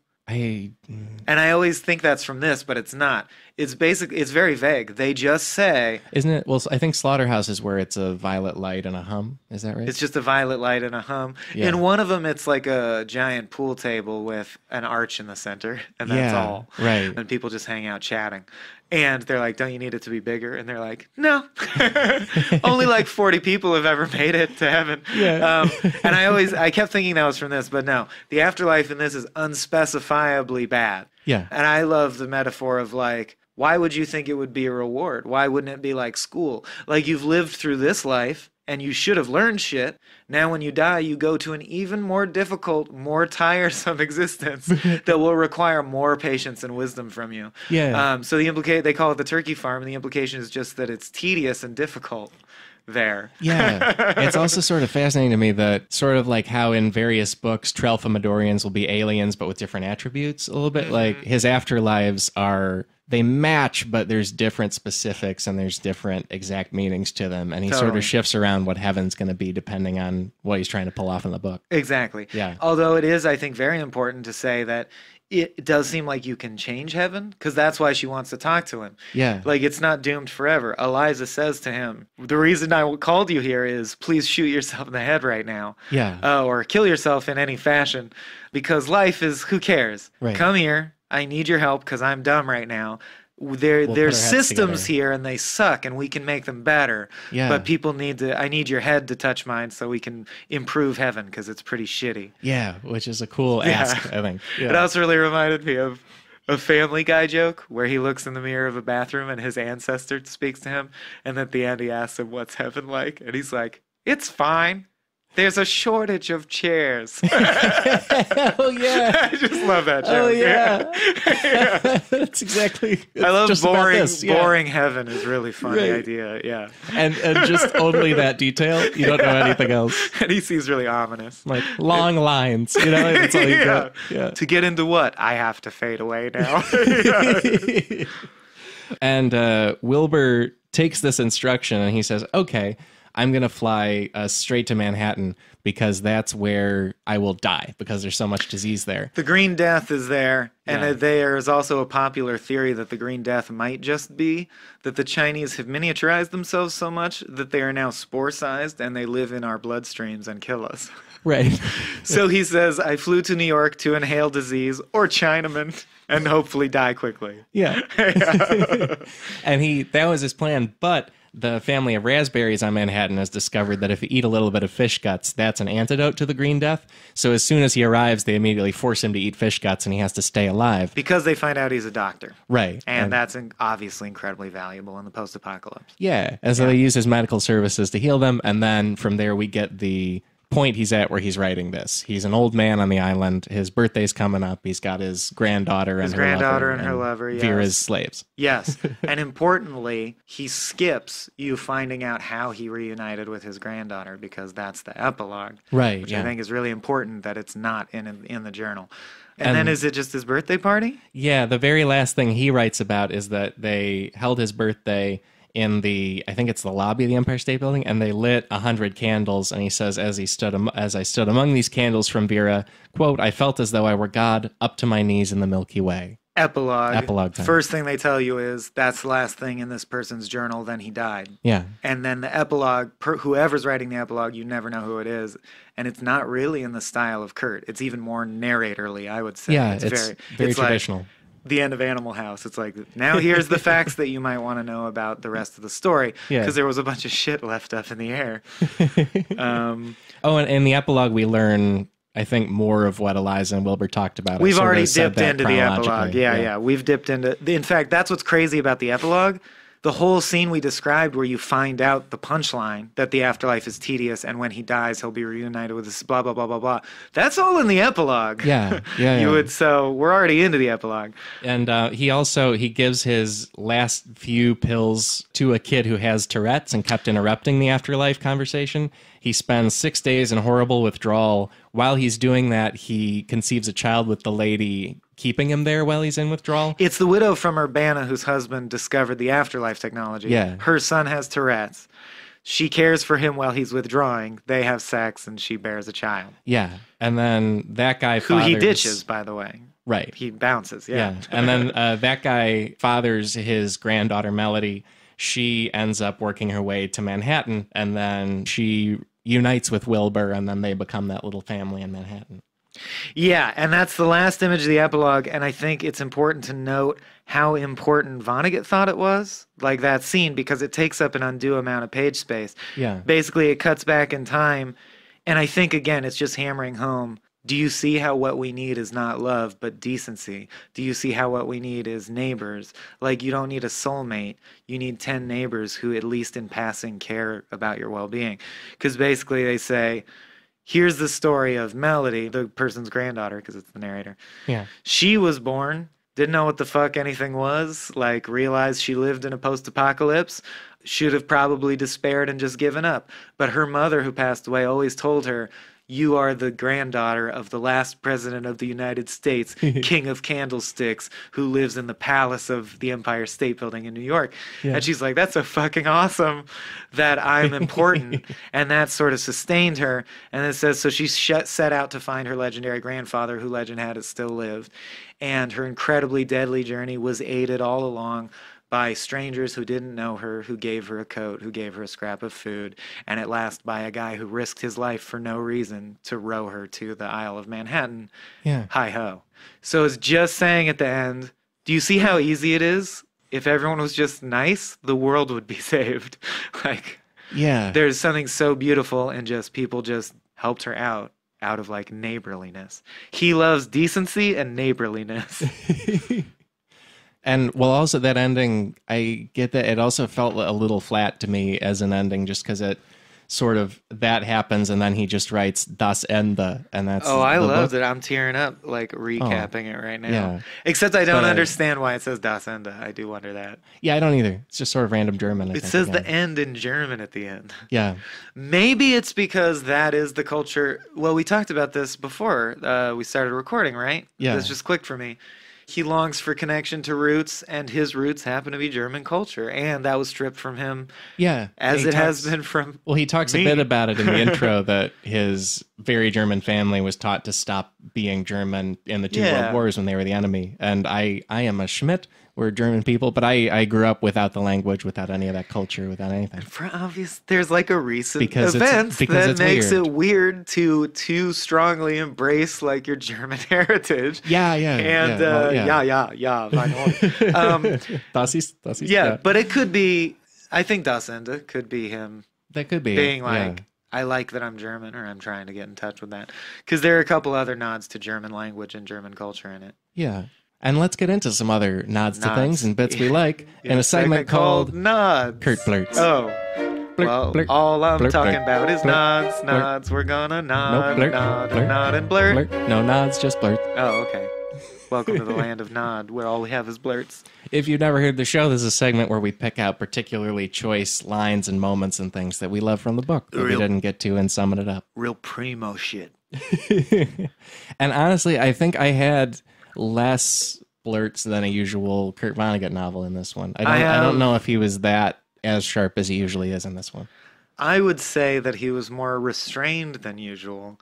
Yeah. I still okay. I'm not gonna make this my new favorite one, but I really, really liked it way more than I liked it the other several times I've read it in my life. oh, wow. And maybe that's the effect of doing this podcast and having a richer understanding of where he's coming from. But I really, really liked it, especially in light of what we talked about, where in Breakfast of Champions, he's like, watch me reset. And I think he totally did amazingly. Like, the thing Yeah. I wrote down is, oh shit, this is Marvel Ultimates. Like, do you know the Ultimates? I don't, I don't know much about All right. it. So like Iron Man Ultimate, Spider Man Ultimate, whatever. Marvel did this event where they're like, we'll start over with new authors. Obviously, just a crass cash grab, but Well, comics refresh like that. Right. So Yeah. we're gonna refresh and start the Iron Man story over. Some details will be the same. Some will be different. New writer, new new artists to sell to new generation of children. Yeah. And I was like, this is fucking Vonnegut Ultimate because you're starting from scratch. So like Breakfast of Champions to me really represents the crescendo of a period of his life. Yeah. this is the beginning because the tone just guys, it's so different. It's very like restrained and like concrete. And He's like, I can't say pooty weed anymore. I'm going to say whippoorwill instead. I can't say so it goes anymore. I'm going to say hi ho instead. I can't have the Church of God, the utterly indifferent, so I'll have the Church of Christ, the kidnapped. It is so Sirens of Titan with different elements. Yeah, I get that, and I I think I was not Uh, knocked out by that. I felt like it was sort of like I I've read this book once before, and the one time I read it, I I was really into the middle name concept, and then I felt and am. felt It's like great concept. I felt like that lifted an otherwise just kind of okay book. Like it was that was great within a just fine book. And reading it this time, I was less knocked out by the middle names, and still felt like it was just kind of fine, and that it, it was things he'd done before, but not as sharply or interestingly. Yeah. I uh, So that's I could see that. I could see that. But what I, I think you see as like a loss of vitality, or there's less lines per minute that hit you. Yeah. I kind of see as an attempt to like make a more poetic version than Sirens, which is like a rambling adventure. And I appreciate that effort. That's all I'll say. Yeah. I also think there are themes that bear repeating. But you're li- right. Like, I shit on Force Awakens all the time for just being a recapitulation of plot points Yeah. from the original trilogy shuffled around. This has some of that stink on it, sure. Yeah, I think I so, mean, it's really like Sirens of Titan, the basic plot points, a lot. the more you think about it, the more match up, and you go, oh, there's so and so, there's so and so. Yeah. Eliza's very Beatrice uh, with a lot of her motivations and even the ways she moves the plot forward. But anyway, I Yeah. agree. I have fewer blurts than usual, but I still think they're just as choice. Is my point. The blurts that are are there are just as potent as ever. Yeah, and some of them are more emotionally resonant than others often are. Like it's Yeah. re- or, a really particular way relationships work. It's we- or we- require more of a leap on the part of the reader to get the meaning out of. Yeah, I think true. he's more ar- obscure and arcane as he ages too. Yeah, there's definitely I because I, I think I also like it better when when he's going to do a book grappling with a death in his family. If he just talks about it directly, I think I like it better. Like the, Okay. the big metaphor of freaky twins with their heads coming together, I, I it doesn't work for me as a way to deal with alright. his sister's death. I don't I don't know. I don't know why I'm uh, Clearly, you never snuffled your sister's crotch, and that's why you just can't get it, man. It's not for you. No sisters, so Not anymore, Checkmate. anyway. Um, but yeah, so I do have some. I have less than usual, but probably way more than I was supposed to because I always do too many. no, it's great. Uh, do uh, uh, jump into one, or I'll find one. From the intro, this book depicts myself and my beautiful sister as monsters and so on. This is only natural since I dreamed this story on the way to a funeral. And that, the thing that struck me about that is I realized all things are written on the way to a funeral. Your own funeral. Oh, like there's yeah. no writing created without the end point being your death ahead of you. and I think that's what he meant by that. Yeah, but if not, I hadn't thought of it that way. but if not, it's not as interesting a blurt as I think it is. No, I didn't catch that. I think that seems like, like every every book he's ever written is on the way to the funeral in a way. as yeah, as as our own. Yeah. There's a, another one from the prologue. He's talking about their family lost Germany and then money and then each other. And the line is, "We were interchangeable parts in the American machine." And I think that's something he talked about a bit in Breakfast Yep. Champions too. Player piano, as, certainly. Right, and directly there. Uh, But I think that's a just a good thing to have early on and really sets up a lot of the Yeah. vibes of it. He says of the Vanderbilts and Rockefellers, they were fabulously well to do and descended from Americans who had all but wrecked the planet with a form of idiot's delight, obsessively turning money into power and then power back into money again and then money back into power again. Just a good, a usual Kurtism. You're like, yeah, that's something he would say. yeah, somewhat related when he's talking about the ancestors of the Swain family who were not rich. He says they were innocent great apes with limited means for doing mischief, which, in my opinion, as an old old man, is all that human beings were ever meant to be. Yep, that was the next one I had listed. yeah, uh, gets a real Luddite. He clearly believes there's some key technologies he wishes we had not invented. Yeah, yeah. Arguably, including like the combustion engine. I think he would. I think, yeah, maybe computers too. maybe widespread communication. Yeah. Yeah, I think so. Um, There's also this is sort of a brief recurring blurt is uh, at one point he says that when Eliza and, and Wilbur reveal that they're smart, thus did Eliza and I destroy our paradise, our nation of two. Oh, And Nation of Two is a big Ein Mother Reich Night thing. zwei. So yeah. yeah, that's just comes up. Ah, man, I love that. Eh, this is more of an image that I just want to make sure we get to because I don't have it listed anywhere else. But in case you didn't read the book, I want you to know that Melody and Isidore spend most of their time waiting for days with light gravity so that they can hurl giant chunks of masonry and car pieces and stuff into a massive pyramid larger than the pyramids at Giza Yeah. under which the child she miscarried is buried in a sewer. And it's called The Tomb of the Prince of Candlesticks. I just think it has so much cool sci fi shit in it, man. Yeah, it, it yeah. Like, way more than his. It has at least eight awesome sci fi things in it, which is why it gets me so much, because most of his books have like three. yeah, I- like this and maybe Galapagos are the closest he comes to like a Mad Max. I've never read that. or That's exciting. yeah. Okay, cool. But the next blurt I have. Oh, I said that. Uh, it's natural for human beings to wish a quick death for monsters. but uh, Yeah. uh, I think one of the real important points in the book is brought out when Cordelia Swain, the doctor who eventually separates them ultimately, when she's alone with them, she drops her nice demeanor and says, This is the United States of America, where nobody has a right to rely on anybody else, where everybody learns to make their own way. And her slogan is, Paddle your own canoe. Yeah. Canoes, which, by the way, famously work much more efficiently with more than one person in them. Or even specifically two. yeah, it's kind of built for that. It's yeah. great because you can do one side and the other side. But yeah, I think that's and that's the central one of the like four central points here. Absolutely is wasn't the American dream one of like brotherhood and everyone Yeah. I mean, even that's exclusionary language, like personhood and everyone being together in this like shared thing called the American dream?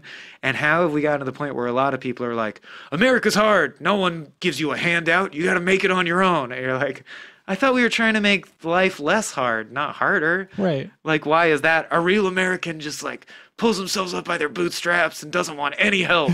like, that's hard, man. That's Right. rough. It's like since when? yeah, yeah, exactly. Yeah, and it's very God bless you, Mr. Rosewater. Like she Mm-hmm. has a definite Lister Rosewater vibe. Fascists are inferior people who believe it when somebody tells them they're superior. That was so. I was yeah, Tweeted that this morning. yeah. That's a bit fair.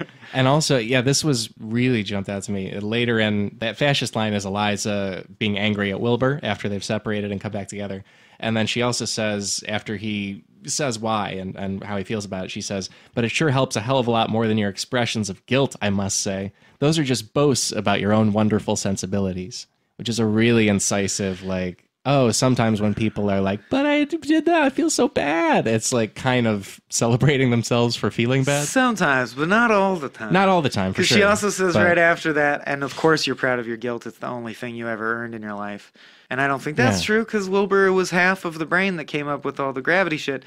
My point being, this scene really reminded me of the Rumfoord scene in Sirens of Titan, where he also is speaking through a megaphone from a heightened position Oh yeah, explaining all the bullshit. And similarly to the Rumfoord scene, in this part, I was like, Eliza has been the arbiter of perfect wisdom the whole book, but in this one scene, she seems petty to me. Like it's a mix of Yeah. wisdom and her true emotions of like, like she says, I sang every day my prince will come. Someday my prince will come every day in the castle when I was locked away, and you never came, you swine. So like she hates him, and that Yeah. comes through. And God, that scene ripped my heart out. He yells, I love you to the helicopter. She says, Didn't we agree no one should ever say that? It's like the dumbest thing to ever say to anyone. And he's like, But you don't understand. I mean it in this moment for the Yeah. I know what I'm saying. I love you. And she says, Not I love you back. I can't remember. Oh, she says, May God guide the heart and mind of Wilbur Swain. right. Which I don't I don't fully that doesn't sit right with me. I wish she'd said I love you too. Yeah, it just felt like clinical. Sad. Yeah, that's what I. So I mean, like she has her own emotional reality that filters what she says, even though she's usually wise about everything. I also thought it was really telling that she's immediately buried in fool's gold. yeah. Like she thought Mars would be the answer, and it's not. There's. A, it's also sad that so she gave the Chinese the information to affect gravity, which ends up ending the world. She did so to fly to Mars. So she literally ended the world in order to get as far away from him as humanly possible, even though all they want is to be together. It's so sad. yeah. And yet every step, all their motivations make sense. And it's just like, wow, life can twist you to the point where all the only path ahead of you is to completely act against everything you want Yeah, it's just that and the then die in an avalanche. the pain of that separation. She just can't face the possibility yeah. of it again. And I think like that's that. why it's fool's gold. She thinks this hurts me. The answer is to run the opposite direction as hard as I can, and that's not the answer either. Yeah, Everything's complex, and there's no escaping tragedy ultimately. yeah. This is when Wilbur is in Indianapolis, which is a heavily daffodil city, and he's watching the local government work. The meeting is run by a seven year old black girl who's very, very capable and effective at running it. And uh, one young man in the crowd wants to go fight a war against the Duke of Oklahoma as soon as possible. And an old man tells him, Young man, you're no better than the Albanian influenza or the Green Death if you can kill for joy. Yeah. Yeah. And he says, I think in that section, and that's the section where he's seeing how well his system worked, everyone's really like solemn about having to send soldiers to war to fight the Duke of Oklahoma. Yeah. And they're very choosy about who in the community is going to go. And even people who volunteer, they're like, calm down. You have six kids. You, you can't leave. so it's, and he says, I realized that nations could never acknowledge their own wars as tragedies, but that families not only could, but had to. Good for them. Oh, yeah. And it's Yeah. really, it is one of the great strengths of the thing is like, I mean, it even made me think of like a biker gang, let's say. It can be any group that identifies with each other. If there's a war and some people die, it's seen as a deep loss and everyone's sad and like, we lost the thing, you know what I mean? But countries as a political organization cannot admit, for example, that, oh, yeah, Vietnam, big mistake. We shouldn't have been there. Those people died probably for no reason. We should just not have done that. You're not allowed to say that because there's a political reality and political fallout. So by making the family unit the unit that decides who lives and who dies, there's much more humanity to the process. And that's really cool. Yeah. I think my last one's related. He is visiting the King of Michigan, who is uh, very obsessed with history. The King of Michigan loves to read history and talk about My it. last blur as well. And uh, Wilbur thinks to himself, aside from battles, the history of nations seem to consist of nothing but powerless old poops like myself, heavily medicated and vaguely beloved in the long ago, coming to kiss the boots of young psychopaths.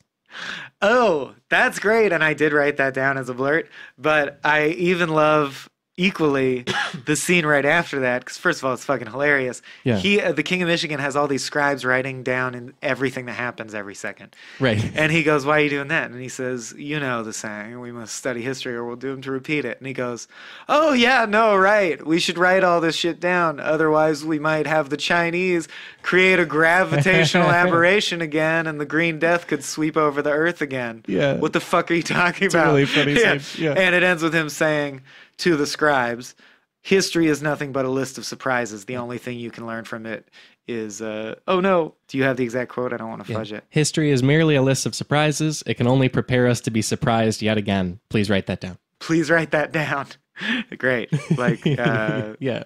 didn't you just say no to?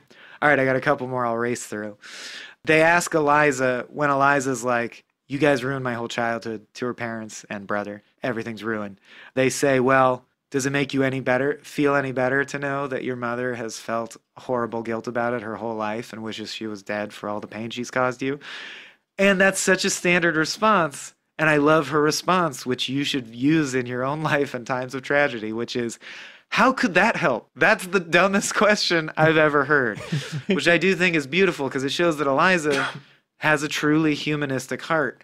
She doesn't want the people that wronged her to be suffering. That doesn't help. She's trying to like lessen the overall amount of suffering. Right. They're like, well, does it help that I'm also suffering? She's like, no. Why would it?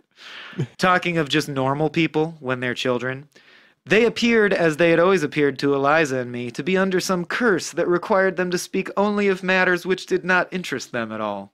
Yeah. I feel like that everywhere except when we're recording this podcast. Yeah.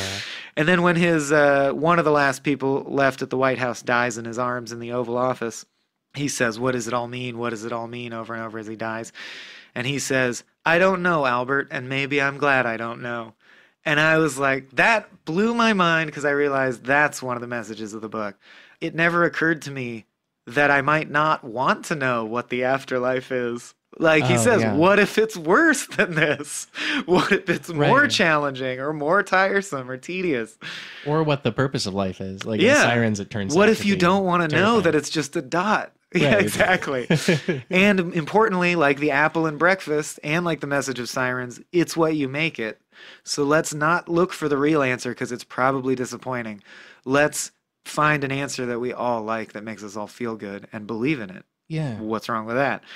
Uh, and then the last blurt I got on the books is the last thing Wilbur Swain ever wrote is a poem he left at the end of his journal, we learn in the epilogue, which is And how did we then face the odds of man's rude slapstick, yes, and God's? Quite at home and unafraid, thank you, in a game our dreams remade.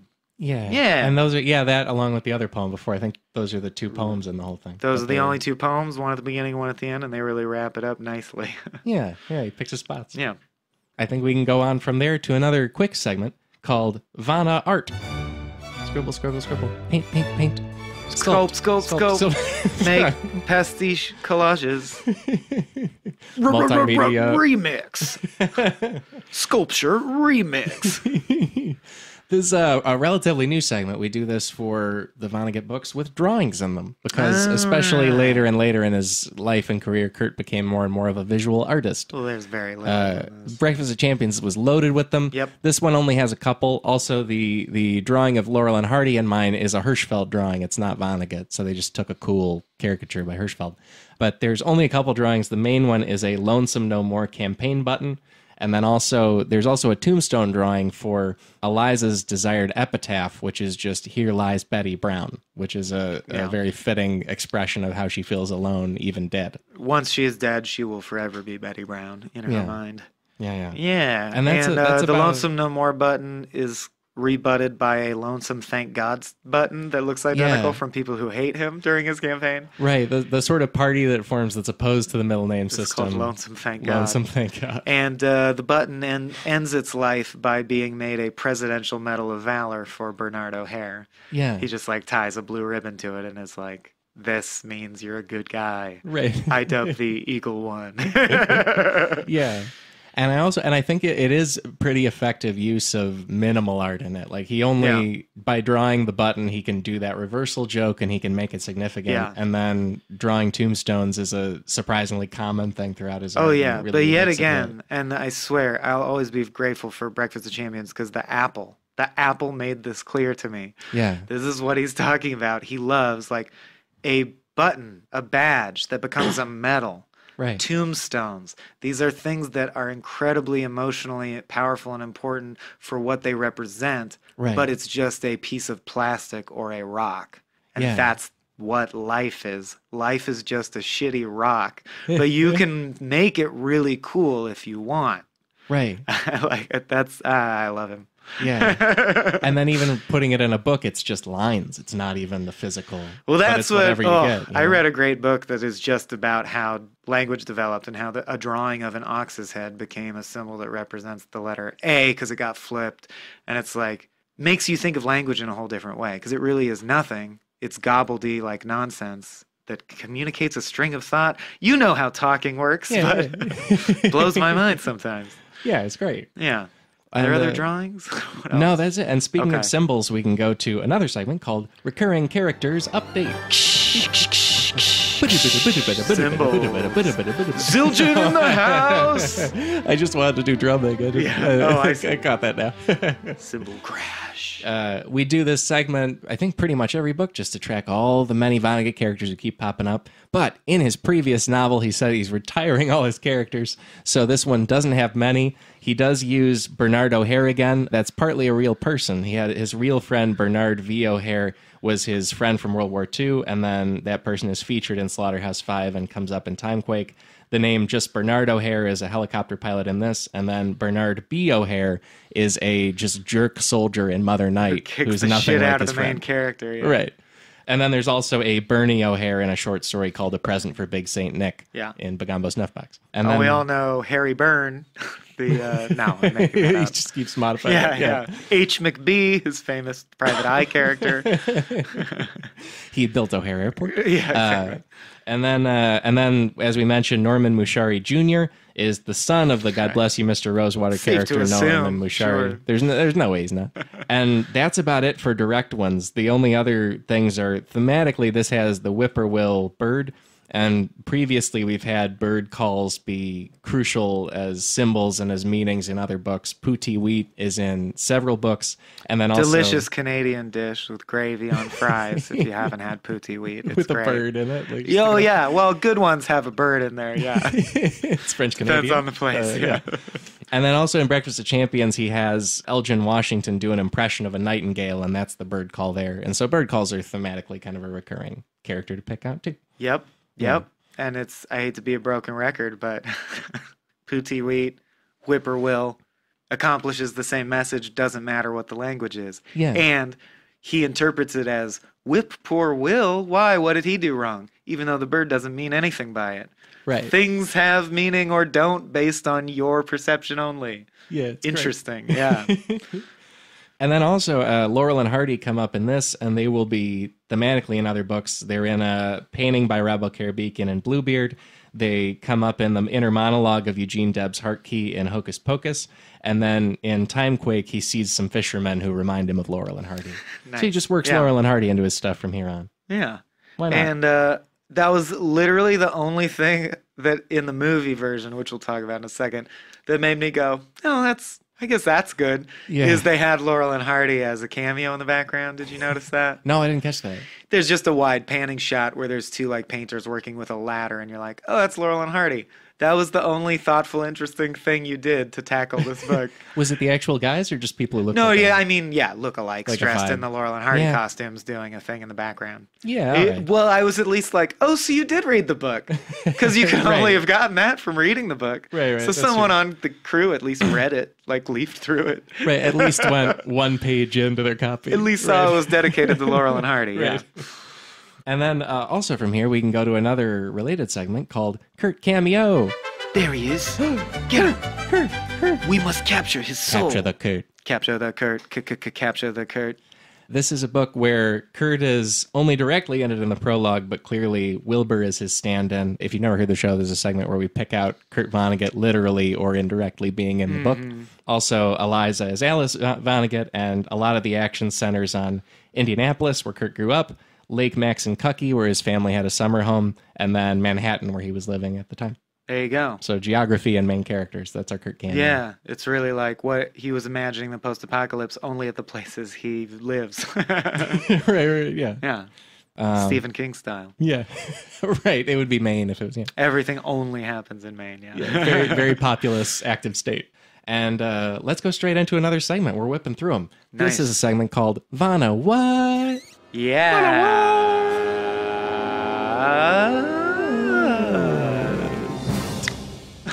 Pretty good. we got it. Well, that was Pretty right good. on That was right we don't have a click track or anything we just did it this is the segment where we get into things that may or may not be problematic or, Mm-hmm. or uh, racist or anything else in the book Political correctness run amok. Run amok. That's what I called it. Anyway, we've already alluded to the slaves, which are repeatedly described as very happy and very lucky to be slaves. right They sing Old Man River and talk about how much they being slaves. Yeah. And I'm just saying, I, I, uh, It's whatever. Not, it's probably not great, but I was weirdly not that thrown by it because it seemed like one weird special case to me. That's okay. Yeah, but slavery. No. Just saying, any other Okay. time in history where you describe a scene of someone saying, "Oh, they're all singing Old Man River down there. Oh, they're very happy slaves," I would be like, I, I, "Bullshit! I don't think they are." right, right.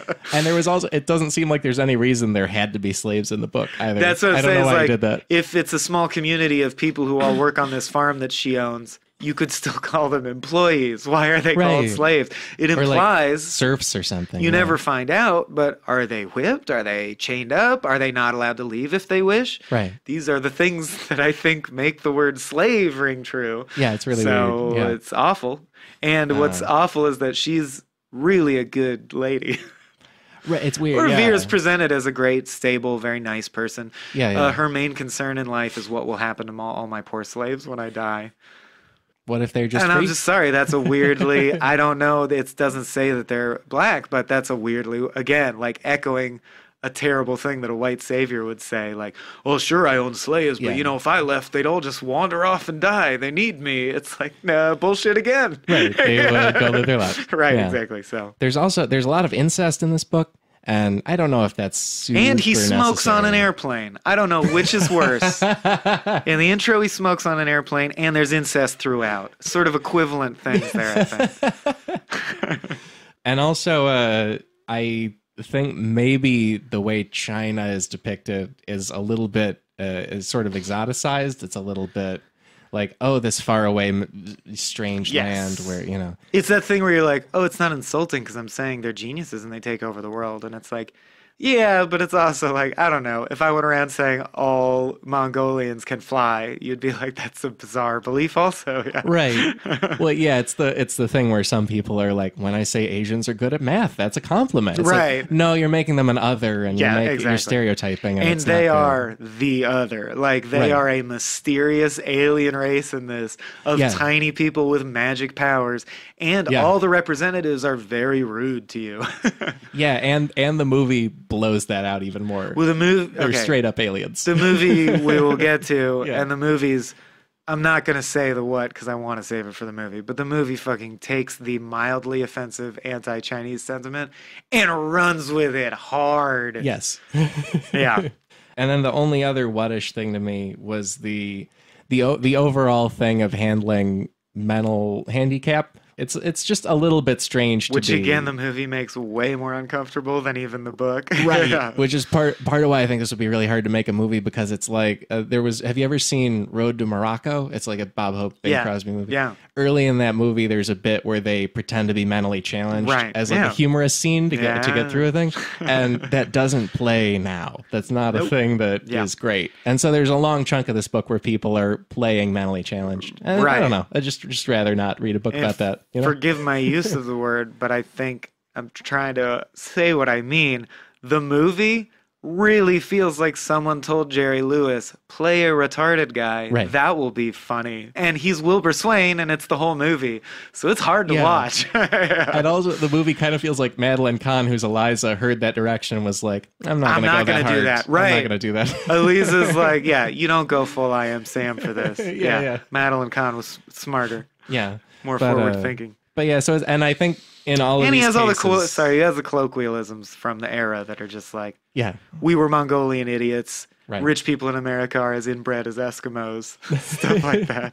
yeah. But and also, I would, I would give Kurt some credit on all of these factors, except maybe the slave one, where it's it's more a product of his time than Malice, but it's still I don't know. It's just worth noting. Certainly the colloquial is, I can't say that word ever, but you know what I mean. Like, as inbred as Eskimos is an offensive phrase I've never even heard, Yeah, but I'm is. sure it's a phrase he heard somewhere. Yeah, Not- really, I, I was don't like- doubt he invented it. Yeah, I was like, oh, that's a thing. Okay, Yeah, yeah. sure. I all did right. not think that about Eskimos. Yeah. Uh, who I believe prefer to be called Inuits. but anyway, yeah, I do want to say just as sort of a character, what sure. I don't think enough scorn is heaped upon Wilbur because he's great the whole time, or like I always believe he's coming from the right place. But then in retrospect, the part they glossed over really is like if he were real, if this were real, if I knew him, like if I was 70 and I married a 23 year old and proceeded to get drug addicted for 30 years and never paid attention to my child and said I don't love him, Yeah, that's a shitty dude. So it's something uh, they gloss over the middle of his life, and at the beginning and end of his life, he's an incredibly noble person. And it's kind of weird to me how quickly they gloss over this middle period where he's objectively like a horrible dude yeah. to his family, to everyone around him. Just interesting. I don't know. It made me Yeah. think of like how John Lennon says all these inspiring things, I believe. But it, when you read about his life, you're like, oh, but he was like a dick to the people literally physically in the room with him. Right. That seems contradictory. or even or even it'll be like, oh yeah, my one true person was Yoko Ono, but also I had a quote unquote lost weekend where I was with another lady for like a year and a half. exactly. Yeah. It's not a you know, Long right. weekend. Yeah, yeah. so Eliza says he's a swine, and I do think he's kind of a swine. That's there. Yeah, Like he yeah. doesn't love his son, even though they wrote the ultimate child rearing guide. Just follow the guide, dude. You wrote the guide. Do what it says. Yeah, and that's also I don't even necessarily judge that character. It just jumps out to me as another like it, it makes it hard for me to love the book and also extra hard to make it a great movie because Yeah. like you want a protagonist who's either likable or or interestingly evil. and he's like just kind of a, an asshole a lot. That's one of those few differences. I think Sirens would make a great movie, and I can't believe that it hasn't been a hit movie already. Yeah. I don't think anyone should have ever made this movie, and Hmm. the one it was made into is uh, was an unfortunate misstep. Yeah, yeah. Did you find the interview with Jerry Lewis on Carson No. being embarrassed about that movie? Let's actually why don't we why don't we get into another segment called movie time? Buzz, Click, click, click, Buzz. click. Boom! buzz. The band Saliva is coming back. Cut, get it again.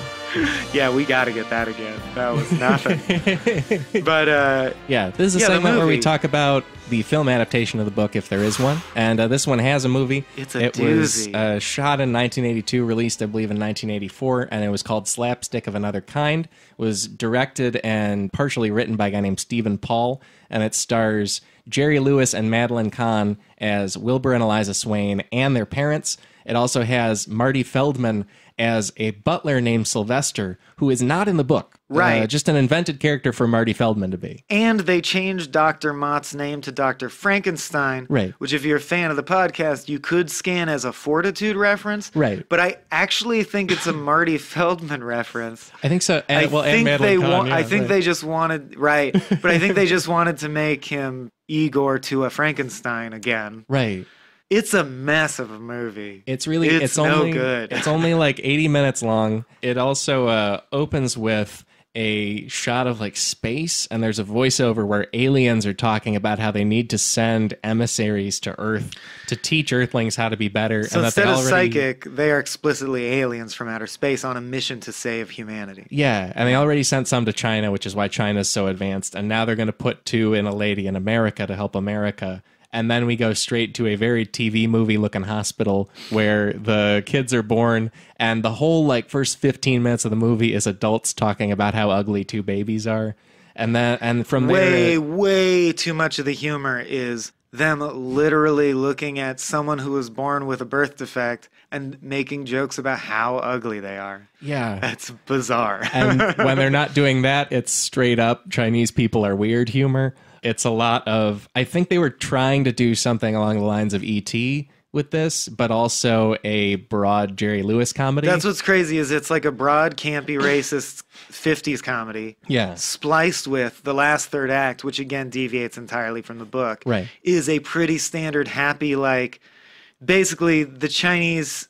I don't even remember. No, it's not. It's the American government military who are not represented in the book, but there's Right. like a cowboy hat military general in the movie Yeah. who captures Wilbur, steals him, puts him in some kind of crazy electrical cage that reads his brainwaves and tortures him. Super strong Eliza breaks into the facility and saves him. They live Right. happily ever after being alien people that the world admires and they save humanity. Or no, the aliens pick them back up and they're like, humans aren't ready for you yet. Come live happily ever after as super smart aliens. Yeah, and then they fly off into space, and Yeah. then it just sh- says hi ho on the screen, and then the credits roll with an original song called "Putting Our Heads Together" by Randy Bishop, which is like an upbeat, hip song about the literal plot of the book. The incest is referenced briefly Yes. as in order to answer a question, they need to take off their shirts and touch their nipples. Right. The movie also That's as can't as far as it goes. can't do that full on. Obviously. So he just said Yeah. he threatens to do it once and everyone freaks out. Right. Clearly shot in Los Angeles. So Yeah. many shots with palm trees, even though it's supposed to be New York and Cape Cod. It's ridiculous. Right. And it also and it just does that weird alien framing device instead of any of the apocalypse stuff, any of the future. The apocalypse is the- vaguely referenced near the end of the movie because you see someone driving a horse and buggy instead of a car. That's it. Yeah. That's yeah, the only yeah. reference to the fact that the world will end soon. Gas costs a thousand dollars a gallon, so everyone uses chicken shit for fuel, which does sound like a Vonnegut thing, but it's not. They Right. made that up. They just kind of, they just kind of invent a lot of stuff in this. There's also a brief random Kilgore Trout line that they give to a different character, and Kilgore Trout's not in this book. So it's all over the also, place. to subdue the kids when they're freaking out, they pull out a giant can that just is all black with the word mace on it in giant letters. And when they spray them in the face with the mace, it makes them drowsy and pass out like chloroform. like they don't understand what mace is. Yeah. Also, the President of the United States is played by Jim Backus, most famous as the voice of Mr. Magoo. So you can hear, my ear caught it. I was like, is this Mr. Magoo? President, like his voice, it's the voice of Mr. Magoo, and he doesn't change it. He plays the president that you can't take seriously. When Yeah. they're thinking hard, magical lights swirl around them. Right. There's a lot of swirling light. There's a lot of scenes of them just throwing food at each other. And there's a president in the movie because I think they know Wilbur's the president in the book, but it's just a Yeah. different guy who watches them throw food and like huffs about it, you know? And it's. The helicopter is turned into a car because clearly the production could not afford to shoot a scene with a helicopter. right. I think that's about it. it's pretty Well, bad. And also in his letters, Kurt at the time talks about how, oh, they're going to make a movie. And then my collection of them includes his letter to the director telling him, You are on your own with the movie. I have done all a writer is supposed to do, which is to give you a script. You can accept it or reject it or whatever. And he sounds very, it's like a very pissed off, very legal, like, you said you were going to make a movie of it. You've really screwed up the process of Yeah. it. And I've done my contractual stuff. He, and he closes it with, like, all future correspondence should go to my lawyer. I don't want to talk to you anymore. and I watched the behind the scenes for the film, and it was funny to watch the writer director telling the story of how the movie came together. Was like, well, my friend Marty, who was an executive, had a slate of properties Wow. available for adaptation. And you're like, this is not, uh, this is not a labor of love, right? Right. This This does not not come fan. from that place, yeah. And then the last thing I want to mention is. Fu Manchu, the Chinese representative, played very ably by Pat Morita, shrunk down Good to actor. a t- yeah, good Yeah. actor, but flies around in a UFO shaped like a fortune cookie. Right. Don't watch the movie. yeah, and it, and the movie has sl- just racial slurs about Asian people that the book doesn't have. And I'll have you Uh, know later in their lives, Jerry Lewis and Madeline Kahn don't want you to watch this movie. Everyone involved with the movie thought it was a bad movie. Yeah, in the next year, Kurt writes a letter to Robert Weide where he says it's dreadful and says that he wants it to never be. My prayer is that it never be shown to anybody again in any form.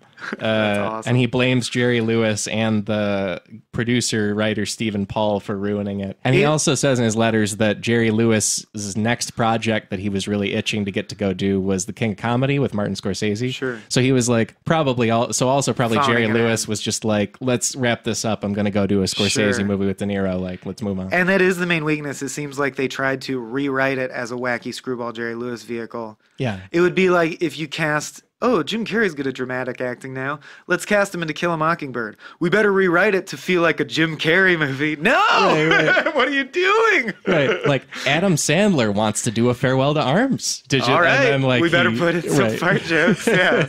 right. And like Rob Schneider's the nurse all of a sudden. You know? Like, yeah. oh, boy. yeah. Um, So but it did get me on a slate of. I found out there are a ton of classic Jerry Lewis movies available for free on YouTube. Some of them still are pretty funny. Well, that's also I. Patsy, Hardly Working. There's some good stuff. I also in watching it, I think I realized I've seen no Jerry Lewis movies ever. Or I had seen Hardly one or two ever. Working because Yeah. of my dad, but yeah. so I'm not really familiar with him as a talent. Like maybe he's awesome in other movies, but he's he's not. I went on a whole spree yesterday while prepping for this of looking at clips of his most famous bits and best bits, and I do think he is basically like a progenitor of Jim Carrey. Cool. He's like all physical. It's all about the number Yeah. of facial expressions he can make and his annoying voice and how fucking like scrawny and mobile he is. Okay. And I am one who can sit down and like appreciate something like, oh, this is like how this is it was invented. This is a link in that chain.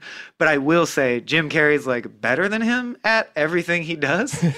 or you know, like Yeah. people have come after who do it better. So I bet a lot of people watching his old shit would be like, this doesn't hold up. This is not good. But if you can appreciate like this is the roots of this, he invented this style of this thing. That's great. Then yeah. then they're interesting to watch. Yeah. And the movie clearly, they, like they linger on him getting knocked down or getting back up in a fun way, or like Yeah. you know experiencing pain, and, th- and they clearly think he's very good at making this hilarious. Yes. you know. Although I would Eh, say I think I've laughed more at Professor Frink than the real Jerry Lewis in my life. Professor. Frink's great. Yeah. makes you laugh. He makes you think. Uh, do you think is there anything you'd want to do in a meat segment? Still? I have questions. All right, I let's get into another segment called the meat. I got questions. Questions to do. The Navy gets the gravy, but the Army gets the beef. That's a Jerry Lewis song from In the Army Now or some Dean Martin shit. Oh, anyway. There's a, if you've never heard the show, the meat is a segment where we get into any other meetings that we haven't covered yet. We're still good. Yeah, and I did something I didn't do before, which was uh, I realized I want to ask you questions more than I have things to say. Great. Yeah. Do you think Kurt Vonnegut believes love exists? I think at this time in his life he was super questioning it, but I also think that he believes it can exist and believes it's worth trying to create it as much as you possibly can. Like that Sirens of Titan uh, moral toward the end of we need to love whoever's around. I think he really truly believes that. I do too, but I wonder. It might be on a FOMA level. I wonder if he questions if we overrate love. Meaning, Oh, yeah. just like in narrative, love may be real and it may be a valuable building block of life, but like we treat it like it's will solve everything and it won't. So I think he's trying Yeah. to deglamorize it. As you way. say that, I'm realizing this this book, especially the prologue, might be an extension of in Breakfast of Champions when he's arguing that storytelling and narrative structure has misled everybody. Yeah. I think uh, here he's specifically picking out how the idea of great loves or great romances do that too. Like I think there's even a line Oh, yeah. where Eliza and Wilbur are kids, they're holed up in the mansion and they've read a lot of romances and they come to believe that if you fall in love with someone immediately that person will burst into your life and mess everything up because that's what happens in love stories. As we at Cracked have observed, if you're like reading any love story from a detached perspective, it just seems like a stalker. yeah. So they're like, I don't want people outside my window with a boombox. Yeah, That's yeah. fucking creepy. Yeah. and and at least one of the characters radically remakes their life usually to make the the new love happen Mm-hmm. you know like there'll be so or at least they'll block traffic on a bridge or run through an airport or like you know something drastic will, will occur you know I also want to ask what you thought of the Tourette's theme. Because not only does he end up addicted to a Tourette's syndrome curing drug, yeah and by chance meet a child who has Tourette's and give his last stash to the child. In the intro, he mentions people who have Tourette's, and then partway through the book, in passing, he mentions the concept of Tourette's again. Tourette's comes up over and over, and I his his understanding of it, whether it's medically accurate or not, I don't know because I know we. Uh, Pop culture understanding of mental illness is often different than what it's really like. Right. But he presents the classic understanding of it makes you shout curse words uncontrollably, which I've come to learn is not that accurate of most people who have Tourette's. But oh okay that's what he was thinking, and that's how he's using it. So, like, being unable to stop from spouting ugliness, is that him as a writer? Is truth ugly and he Oh. can't stop spouting it? But he's addicted to feeling good at the expense of learning the truth. That's interesting I don't know. i hadn't i hadn't really remarked on the tourette's thing as i read I didn't fully sift through it to any meaning, yeah. and right now I'm like putting stuff together and seeing if anything matches up. But well also and in reading about his life i haven't bumped into anything where it's like tourette's loomed large with anybody Right. new or anything uh, right, whereas like in this intro, yeah. you find out his brother co-founded the chapter of AA in his town, yeah and I'm like, oh, that's why you love AA so much. Like in five books, you're like the best things in the world are fi- volunteer firefighters and AA. right And I actually think AA has terrible success statistics. Like it's not a very effective organization. yeah and kurt's not But I'm aware like, oh, so- but your yeah. brother founded it. So Or of his- course his love uncle, it. his oh, sorry, Alex, your yeah. uncle, yeah. Yeah. his beloved uncle Alex. Yeah. Yeah, I think the Tourette's thing. I don't. I think. I think that's just like a device he found or a thing he thought worked well for the plot. Honestly, yeah, that that didn't jump out to me that much. But that's I- but that's super curious that it's in the book so much. Yeah, I think there's some meat there, and I'd lo- I'll leave it to the audience to chew on it and like post on the Yeah. Facebook page. What I do you also- think that bit of meat was about? And I know very little about that condition, just as a person. I, I like I haven't researched it much. Or I'd be interested if anyone Yeah. out there suffers with Tourette's. Well, yeah, let Yeah. us know on the page just what it's like. I already said the prologue is a full 12%, and plus the epilogue, it's a full 21%. yeah, that's incredible. Thanks I just for think that's that an, down. it's an interesting Yeah. choice. Yeah. That's amazing. Oh, I thought it was really cool that their ancestor Elihu Swain died on the day of a party he was throwing in honor of Mark Twain and Edison. Yeah, So it's the combination of wry satirist and technologist Kurt Vonnegut. Oh Like yeah. he's throwing a party for the spirit that will become, I think, Kurt yeah. Vonnegut. Yeah. Because and in the prologue, he specifically picks out that Kurt and his brother both love Laurel and Hardy and also love Twain. Like, those are- Yeah. that's their sense of humor. That might be all I have, although the one meaty thing I looked up that I thought was cool is Fu Manchu. You know pop culture history of Fu Manchu, right? Isn't it, it's like a villain in serials? There was a series of novel, British novels that had Fu Manchu, and we don't use it anymore because we don't like to just be like a evil Asian guy who talks in a thick accent, played by a white dude usually. But Fu Manchu, while being problematic, was also not wholly like it wasn't like a race hate character. He was a smart, capable supervillain, like Bond style villain, and he had the was- classic mustache yeah. we call the Fu Manchu mustache. Anyway. I looked up like, but what does it mean though? I'm wondering why Kurt used it, and I guess Fu Manchu translates to the warlike one, and Oh, I yeah. don't know if it means anything, but I am taking it as a FOMA to mean because I think it's cool to be a clue that Fu Manchu probably had Eliza killed Oh yeah, versus it was an accident. and or screwed up the gravity on Earth. Like right. Like I took it as a clue to be that yes, the Chinese did the gravity thing and killed Eliza. Yeah, interesting. Um, might not be anything. Might just be like he's like that's a name from pop culture. I heard. I'll use it. But whatever. I also don't know why, in a world where Fu Manchu exists, why is this guy named Fu Manchu? right. And no one ever says like, "Oh, really? Like the famous villain from that series of novels and movies?" Right. Yeah. It's like if he showed up and he was like, "My name is Jackie Chan." Yeah. like, no, that's a person. Uh, yeah, you're like, don't name your. Right. You can't steal that From My name your is Richie unrelated book. Cunningham. You know, like, like And then I thought the other meaty thing that was so interesting to me is that Fu Manchu, when he's looking at all their papers, this is the thing I wanted to zoom in on a little bit. I thought the ideas that they come up with that we learn about are fucking awesome. Even some of the ones in passing. For example, the refutation of Darwin being that it seems unlikely that the mutated creatures would survive Hmm. long enough to bear children in the first iteration when they're mutated, obviously as an, an analog for how they feel as freaks of nature born into, and they don't think they'll survive. Oh, okay, yeah, And Vonnegut also constantly felt his brain was unique and he was going to die soon. yeah. You're gonna love Galapagos. Oh, that- great. Okay, great. Yeah. Well, of- I, oh, of course there's a Von or a Darwin connection. It's Galapagos. I Yeah, never yeah. knew that. Okay, but yeah, all that stuff, and uh, they also have the gravity work. They have the middle name thing, and when he says sees the middle name thing, he makes it. Wilbur makes a point of like, ah, the middle name thing. I, what do you think of that? I like that one basically, and he says it is truly the work of children. Uh, so like the gravity one's the interesting one to them, and they dismiss that. And I just was wondering why you think that is true if like I can't understand what he tried to use the Chinese people to represent, I guess. Because why are they so dismissive and cold and rude when their mastery of nature comes from the fact it says early in the book that they have a bunch of congenial loving people working together with their mental powers combined in like a nice family Yeah, yeah. wouldn't they recognize the middle name thing as a very similar to that idea? And wouldn't they be like, that's a great idea? That's kind of what we did. That did strike me that I think Kurt thinks, and it's sort of an exoticized idea, but that Chinese family structure is so much stronger and so much more ingrained. And so to them, having that natural and powerful connection to each other, they see this just artificial, mass produced American assembly line version of Sure. it as stupid.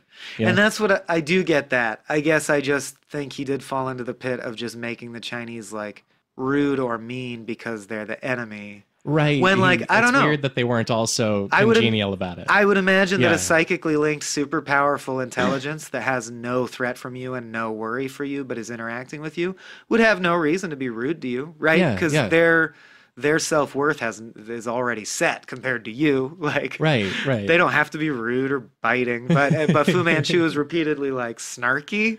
I just don't see why he would be, but whatever. Yeah. Yeah, that is weird. And and I think a, A part of the thing. a I mistake on Kurt's part, probably. Yeah. Or just a weird thing to do. a half a half mistake. It's so weird because he's trying to do honor to something he really sees as a true strength, which is great about Chinese culture, which is the emphasis on the family unit. Yeah. But then he also falls afoul of like generalizing broadly about a whole continent of people. yeah. I don't know how what to think about it. like it's certainly not like a slam job against Chinese people, but some of the stuff makes you feel cringy. For sure. Yeah, yeah. but again, way better than the movie. Ugh. The mo- oh, just for the record, the book does not have a fortune cookie UFO. Right. In fact, it has one of my favorite things is that he says, "You Chinese people are so tiny, you always just appear." Yeah. Like you're sitting on my mantle when I come into the living room and you're like, I need to talk to you. Like, how'd, how'd you, you get, get, to my mantle? To my mansion. And he goes, same way we get to Mars. That was a good That's a great that. line. Yeah, yeah. yeah.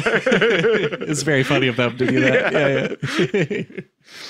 what you a, got, what a yeah. great meets. I that's think all the that, meat I got. Yeah, that's about it. I think we uh, we only have a few more segments, and one of them is Kurt Vonnegut grades. Oh. Great, great, great, great, great, great, great, great, great, great. great.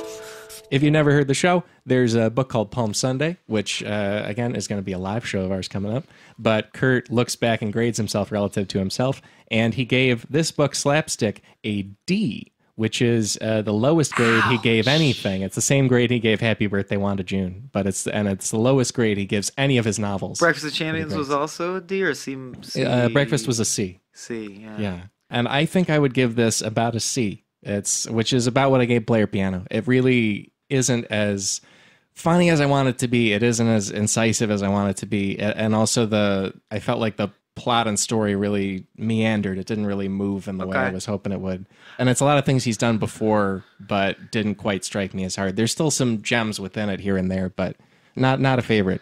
I'll give it a solid B. I'm always gonna love all the sci-fi ones, but I really think there was more meat there than I knew. I think this is the third time I've read it in my life, and there was more insight than I remembered. Yeah. So maybe that's giving me a false positive, but I'll go B. Yeah, that's all right. Yeah. yeah. And I think there's more, uh, it yields up insights the more deeply you think about it. And uh, and Kurt's usually not like that. He's very surface, not in a bad way. Right. That's his whole like flipping He's of the very direct. paradigm is I'm not gonna fucking hide the moral from you. Here's the moral. It's the first sentence of the book, and uh, this one does that less. It's more traditional in hiding some of the surprises for the end and stuff like that. And there's something about that I like. It's neat to read Kurt writing in a slightly different style. It Yeah. feels different than the other ones. for sure. I, I get that. Mainly Yeah, in I the see plotting. In the plotting itself, yeah. yeah, it, it feels like you said restrained, and I, I think Yeah. I, I think I miss Wild Kurt, but I understand the value of the restraint and the the different approach. The Kurt voice, the Kurt voice that is the essayist or stand-up comedian who can break in at any time with commentary is almost completely absent. He Yeah. does not. He holds his peace. Yeah. and I miss it. yeah. I miss it. Interesting. Yeah. Yeah. And I'm wondering if that's as we go on, if that's going to be a recurring theme of the second half of his canon versus the first half. Yeah, We'll see. Yeah, that's interesting. Because also, uh, there the few I haven't read are more toward this. later I would agree. Uh, I think one of the only ones I remember vividly from the future now is Dead Eye Dick, and I would also call that one fairly restrained and plot focused more than Huh. more than Breakfast, more than Slaughterhouse, definitely. Yeah, Hmm. it's gonna be a great show. Keep that in your noggins. And speaking of other books, here comes a segment called Related Reading. Going up prepared at all. Ah. I only brought movies. Oh no. Is that true? I have two books. That's it. I have two short stories and a song. Oh, cool. Okay. Yeah, very uh, light homework this time. I'm very disappointed with the number of people who are actually sending me completed book reports, so I decided to shorten up my.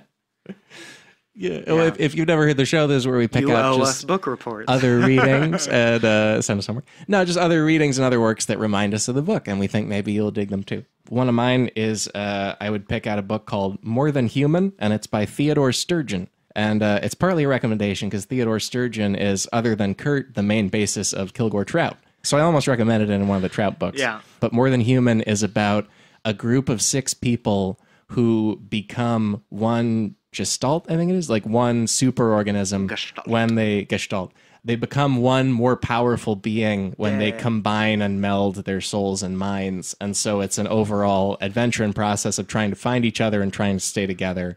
It's very directly related to the Wilbur and Eliza connection in this. and, the Voltron cartoon. actually. right and, and power rangers Yeah. and- but and, and it's an excellent piece of writing and it's one of the landmarks of sturgeon's work so both for the slapstick connection and if you want to just know what he's like uh, it's a good a good piece Yeah. yeah I just realized how much though it would suck to be best known for someone else's fictional characterization of you. yeah that's like tough. Theodore Sturgeon is still most famous because his name became Kilgore Yeah. Trout.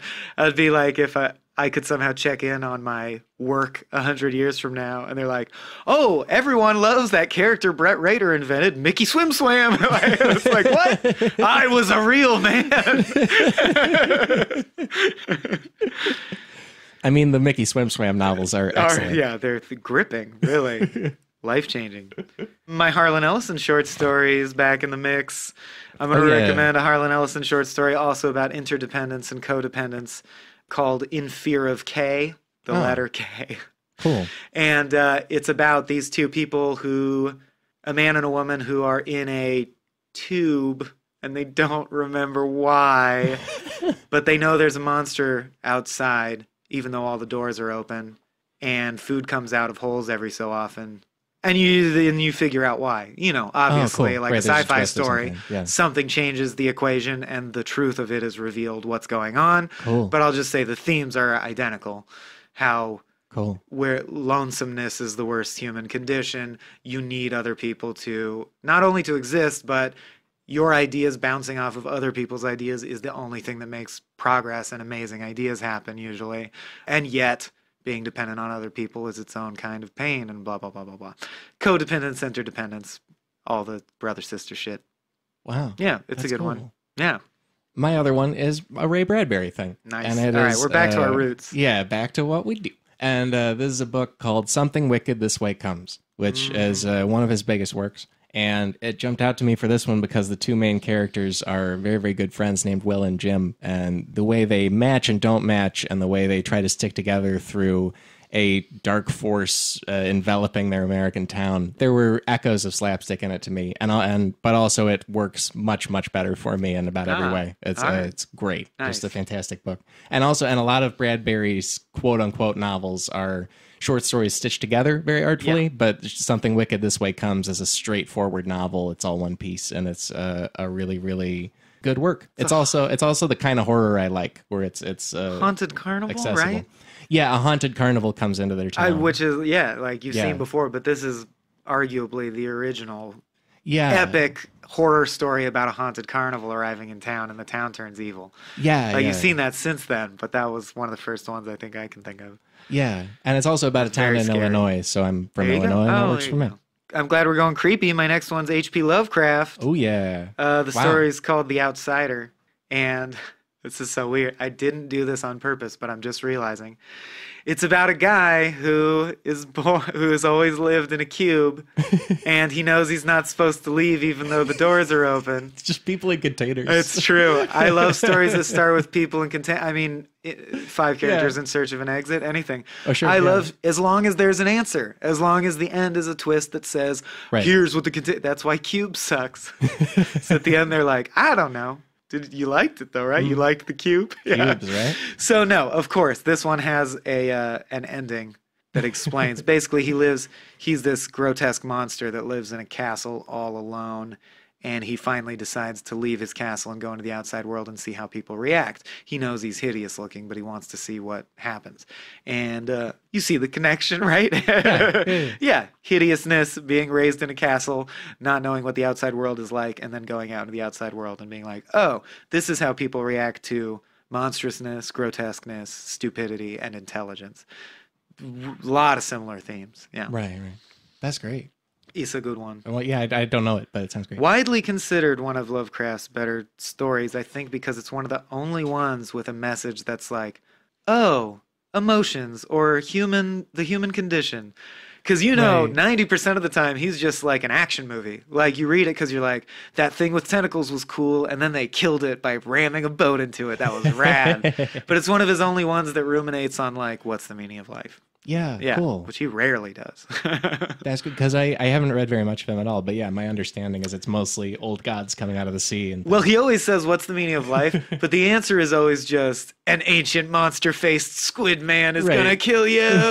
and you either go crazy or die or kill it back. right. Like, he's straightforward action stories. like, you know, Yeah, you don't read it and try to figure out, but what does Stephen King think about love between humans? right. It's like, no, just the no, it's the clown thing. was rad. Yeah. yeah, yeah. and then uh, and he had a song. I'm out of related readings. Oh yeah, I have a song, and uh, I've noticed every time I say I'll ask Brett to include a clip, he does. So I'll ask Brett to include a clip. Ha! It's just like saying I love you. It's like putting a gun to your head. Gun you have head. to do it. Yeah. A great Frank Zappa song. So there's a double connection. Oh yeah. There's a double connection. Uh, Vera Chipmunk Five Zappa is His a daughter, character. right. This is a Zappa song called "Bobby Brown Goes Down." Whoa. One of my favorite Zappa songs. I still Very don't know much uh, Zappa. much like this book, incredibly filthy song about a young man named Bobby Brown who got his balls ripped off once, but his dick still works, but it shoots too quick. I think is the chorus. But she left the dick. I guess it's still hooked on, but now it shoots too quick. Oh God, I am the American dream. Bizarre song about the life of a Zappa created character named Bobby Brown. Real catchy. If you like Zappa music, you'll like it.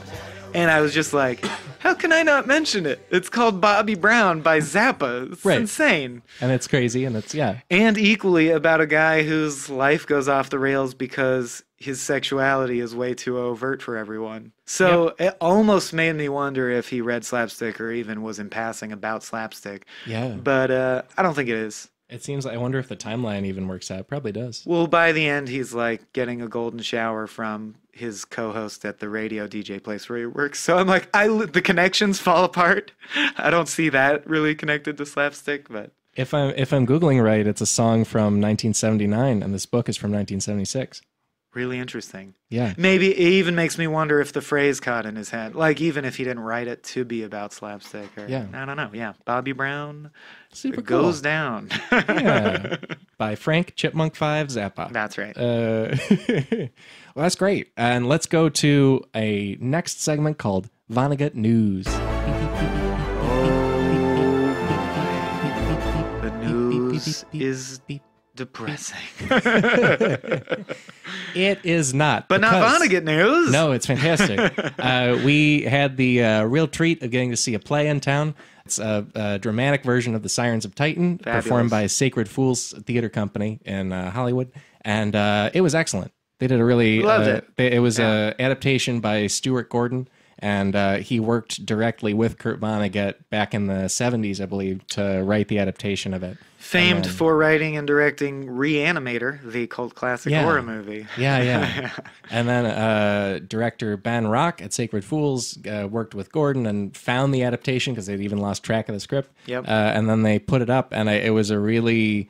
We were wondering amongst ourselves how easy it would be to track if someone had never read the book, and I don't really know. But having read the book, it was an excellent dramatic presentation of it. Yeah, excellent adaptation. My only thought was, I wonder if it would be confusing if you never read the book, just because some of the stuff is so wacky. Yeah, right. And Right, It's a hard like- book to, uh, without a narrator, a hard I book to digest. I can't believe they had the balls to keep Salo as described in the book. yeah. Didn't didn't you think Salo would be like a green dude with an antenna? Yeah, it was amazing. They put together a whole sort of Rig. puppeted rig and Yeah. costume for it, and it collapsed when it needed to, and it got put back together when it needed to. But I am wondering if you were had never read the book and you see that character and he comes out as like a sphere with three legs and it's played by an actor who's puppeteering it from inside on a little stool. Yeah. If you hadn't read the book, you'd be like, why'd they make that that? Why does that look like that? That looks so Right. hard to do as the actor. Yeah. It's like, well, they wanted it to look like it's described in the book, and it is literally described as not human shaped. Like it can't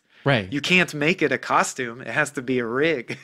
yeah, yeah. So Salo was very impressive. Kazak is also a dude in a full dog costume. just full dog costume. Yeah, yeah. they also their production. They uh, they said uh, in another podcast and also to us that they were partly inspired by World War II being a big influence and theme in it, which is something I hadn't really thought about so much No, with me neither. Sirens. But they, in doing that, made Winston a lot like FDR, and they tried to give uh, Beatrice sort of a Eleanor Roosevelt vibe, Yeah. And uh, and played up the overall sort of war between worlds as a as a noble yet still screwed up conflict Yeah. and the way that there were multimedia elements to it and Mm-hmm. uh, a lot of great costume switches and they did the act break right when they're stuck on mercury and it, it was just I, I pretty much every choice they made worked for Yeah. me yeah So big thanks to Ben and Alicia, the dramaturg, who made us feel very Yeah. welcome. yeah they Great did show. and it was an excellent show yeah. Yeah. so check out sacred fools theater I mean, Company. I always They're want doing a to lot of good support. stuff I always want to support all theatrical efforts. So I don't mean Yeah. it as a slam on the other one, but I will say, by way of complimenting this production, Yeah. head and shoulders above the other Kurt play we saw as part of this podcast. yeah and i think partly because they chose material that we're both I just guess uh, maybe more maybe into. that's it. Yeah, yeah, yeah. So yeah, that was great, and there it was. Uh, it's the 20th anniversary of their theater company, so they're they've been Sacred around a while, and, yeah. and check them out. They've done a lot of good work over the years. Um, and then also, if you're in Indianapolis, uh, the Kurt Vonnegut Memorial Library is doing a art show. Uh, they're showing off a bunch of original prints based on Vonnegut's work. It's uh, the the name of the show is Sateen Dura-Luxe, which is a kind of paint that Rabo Karabekian uses in Bluebeard. But that's on display from May 31st to June 28th at the museum in Indianapolis. So check it out. I will. Yeah, That's a uh, lie. it's art by 20 printmakers inspired by Vonnegut. And then also, if you want to see a production of Mother Night, that's happening in May and June in San Francisco with the Custom Made Theater Company. That also opens uh, May 25th and then closes June 24th. And then the big, big Vonnegut news we're doing a live episode so soon. So, So quick. Soon. It's going to be May 31st, 7:30 p.m. at the Last Bookstore in downtown LA. We're talking all about Palm Sunday. It's a free show and we'd love to have you there and hang out. Be there. We're going to probably take questions from the audience and get to know Yeah, you. absolutely. Yeah. Free show. Tipping is highly encouraged, but free Ah, otherwise. Ah, are we? Well, we'll have we'll at least have an open guitar case in front of the desk, right? Uh, we we did not If people want to toss stuff in, it's, Yeah.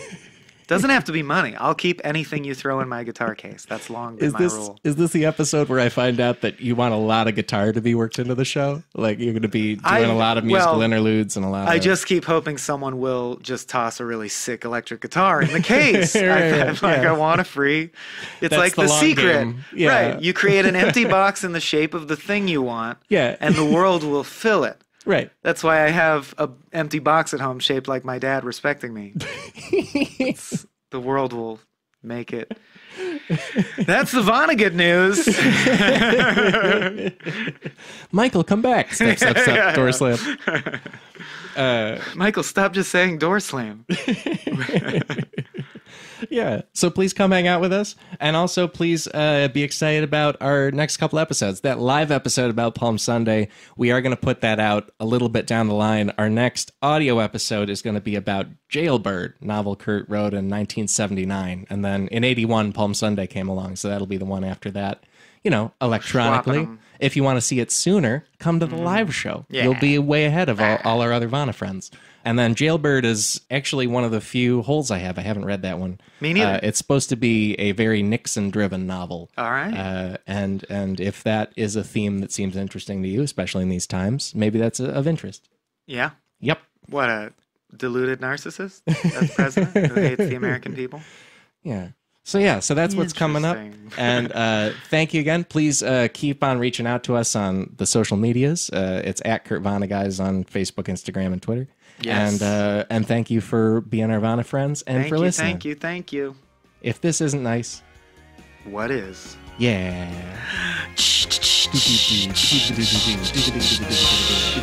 Fellas, you gotta leave.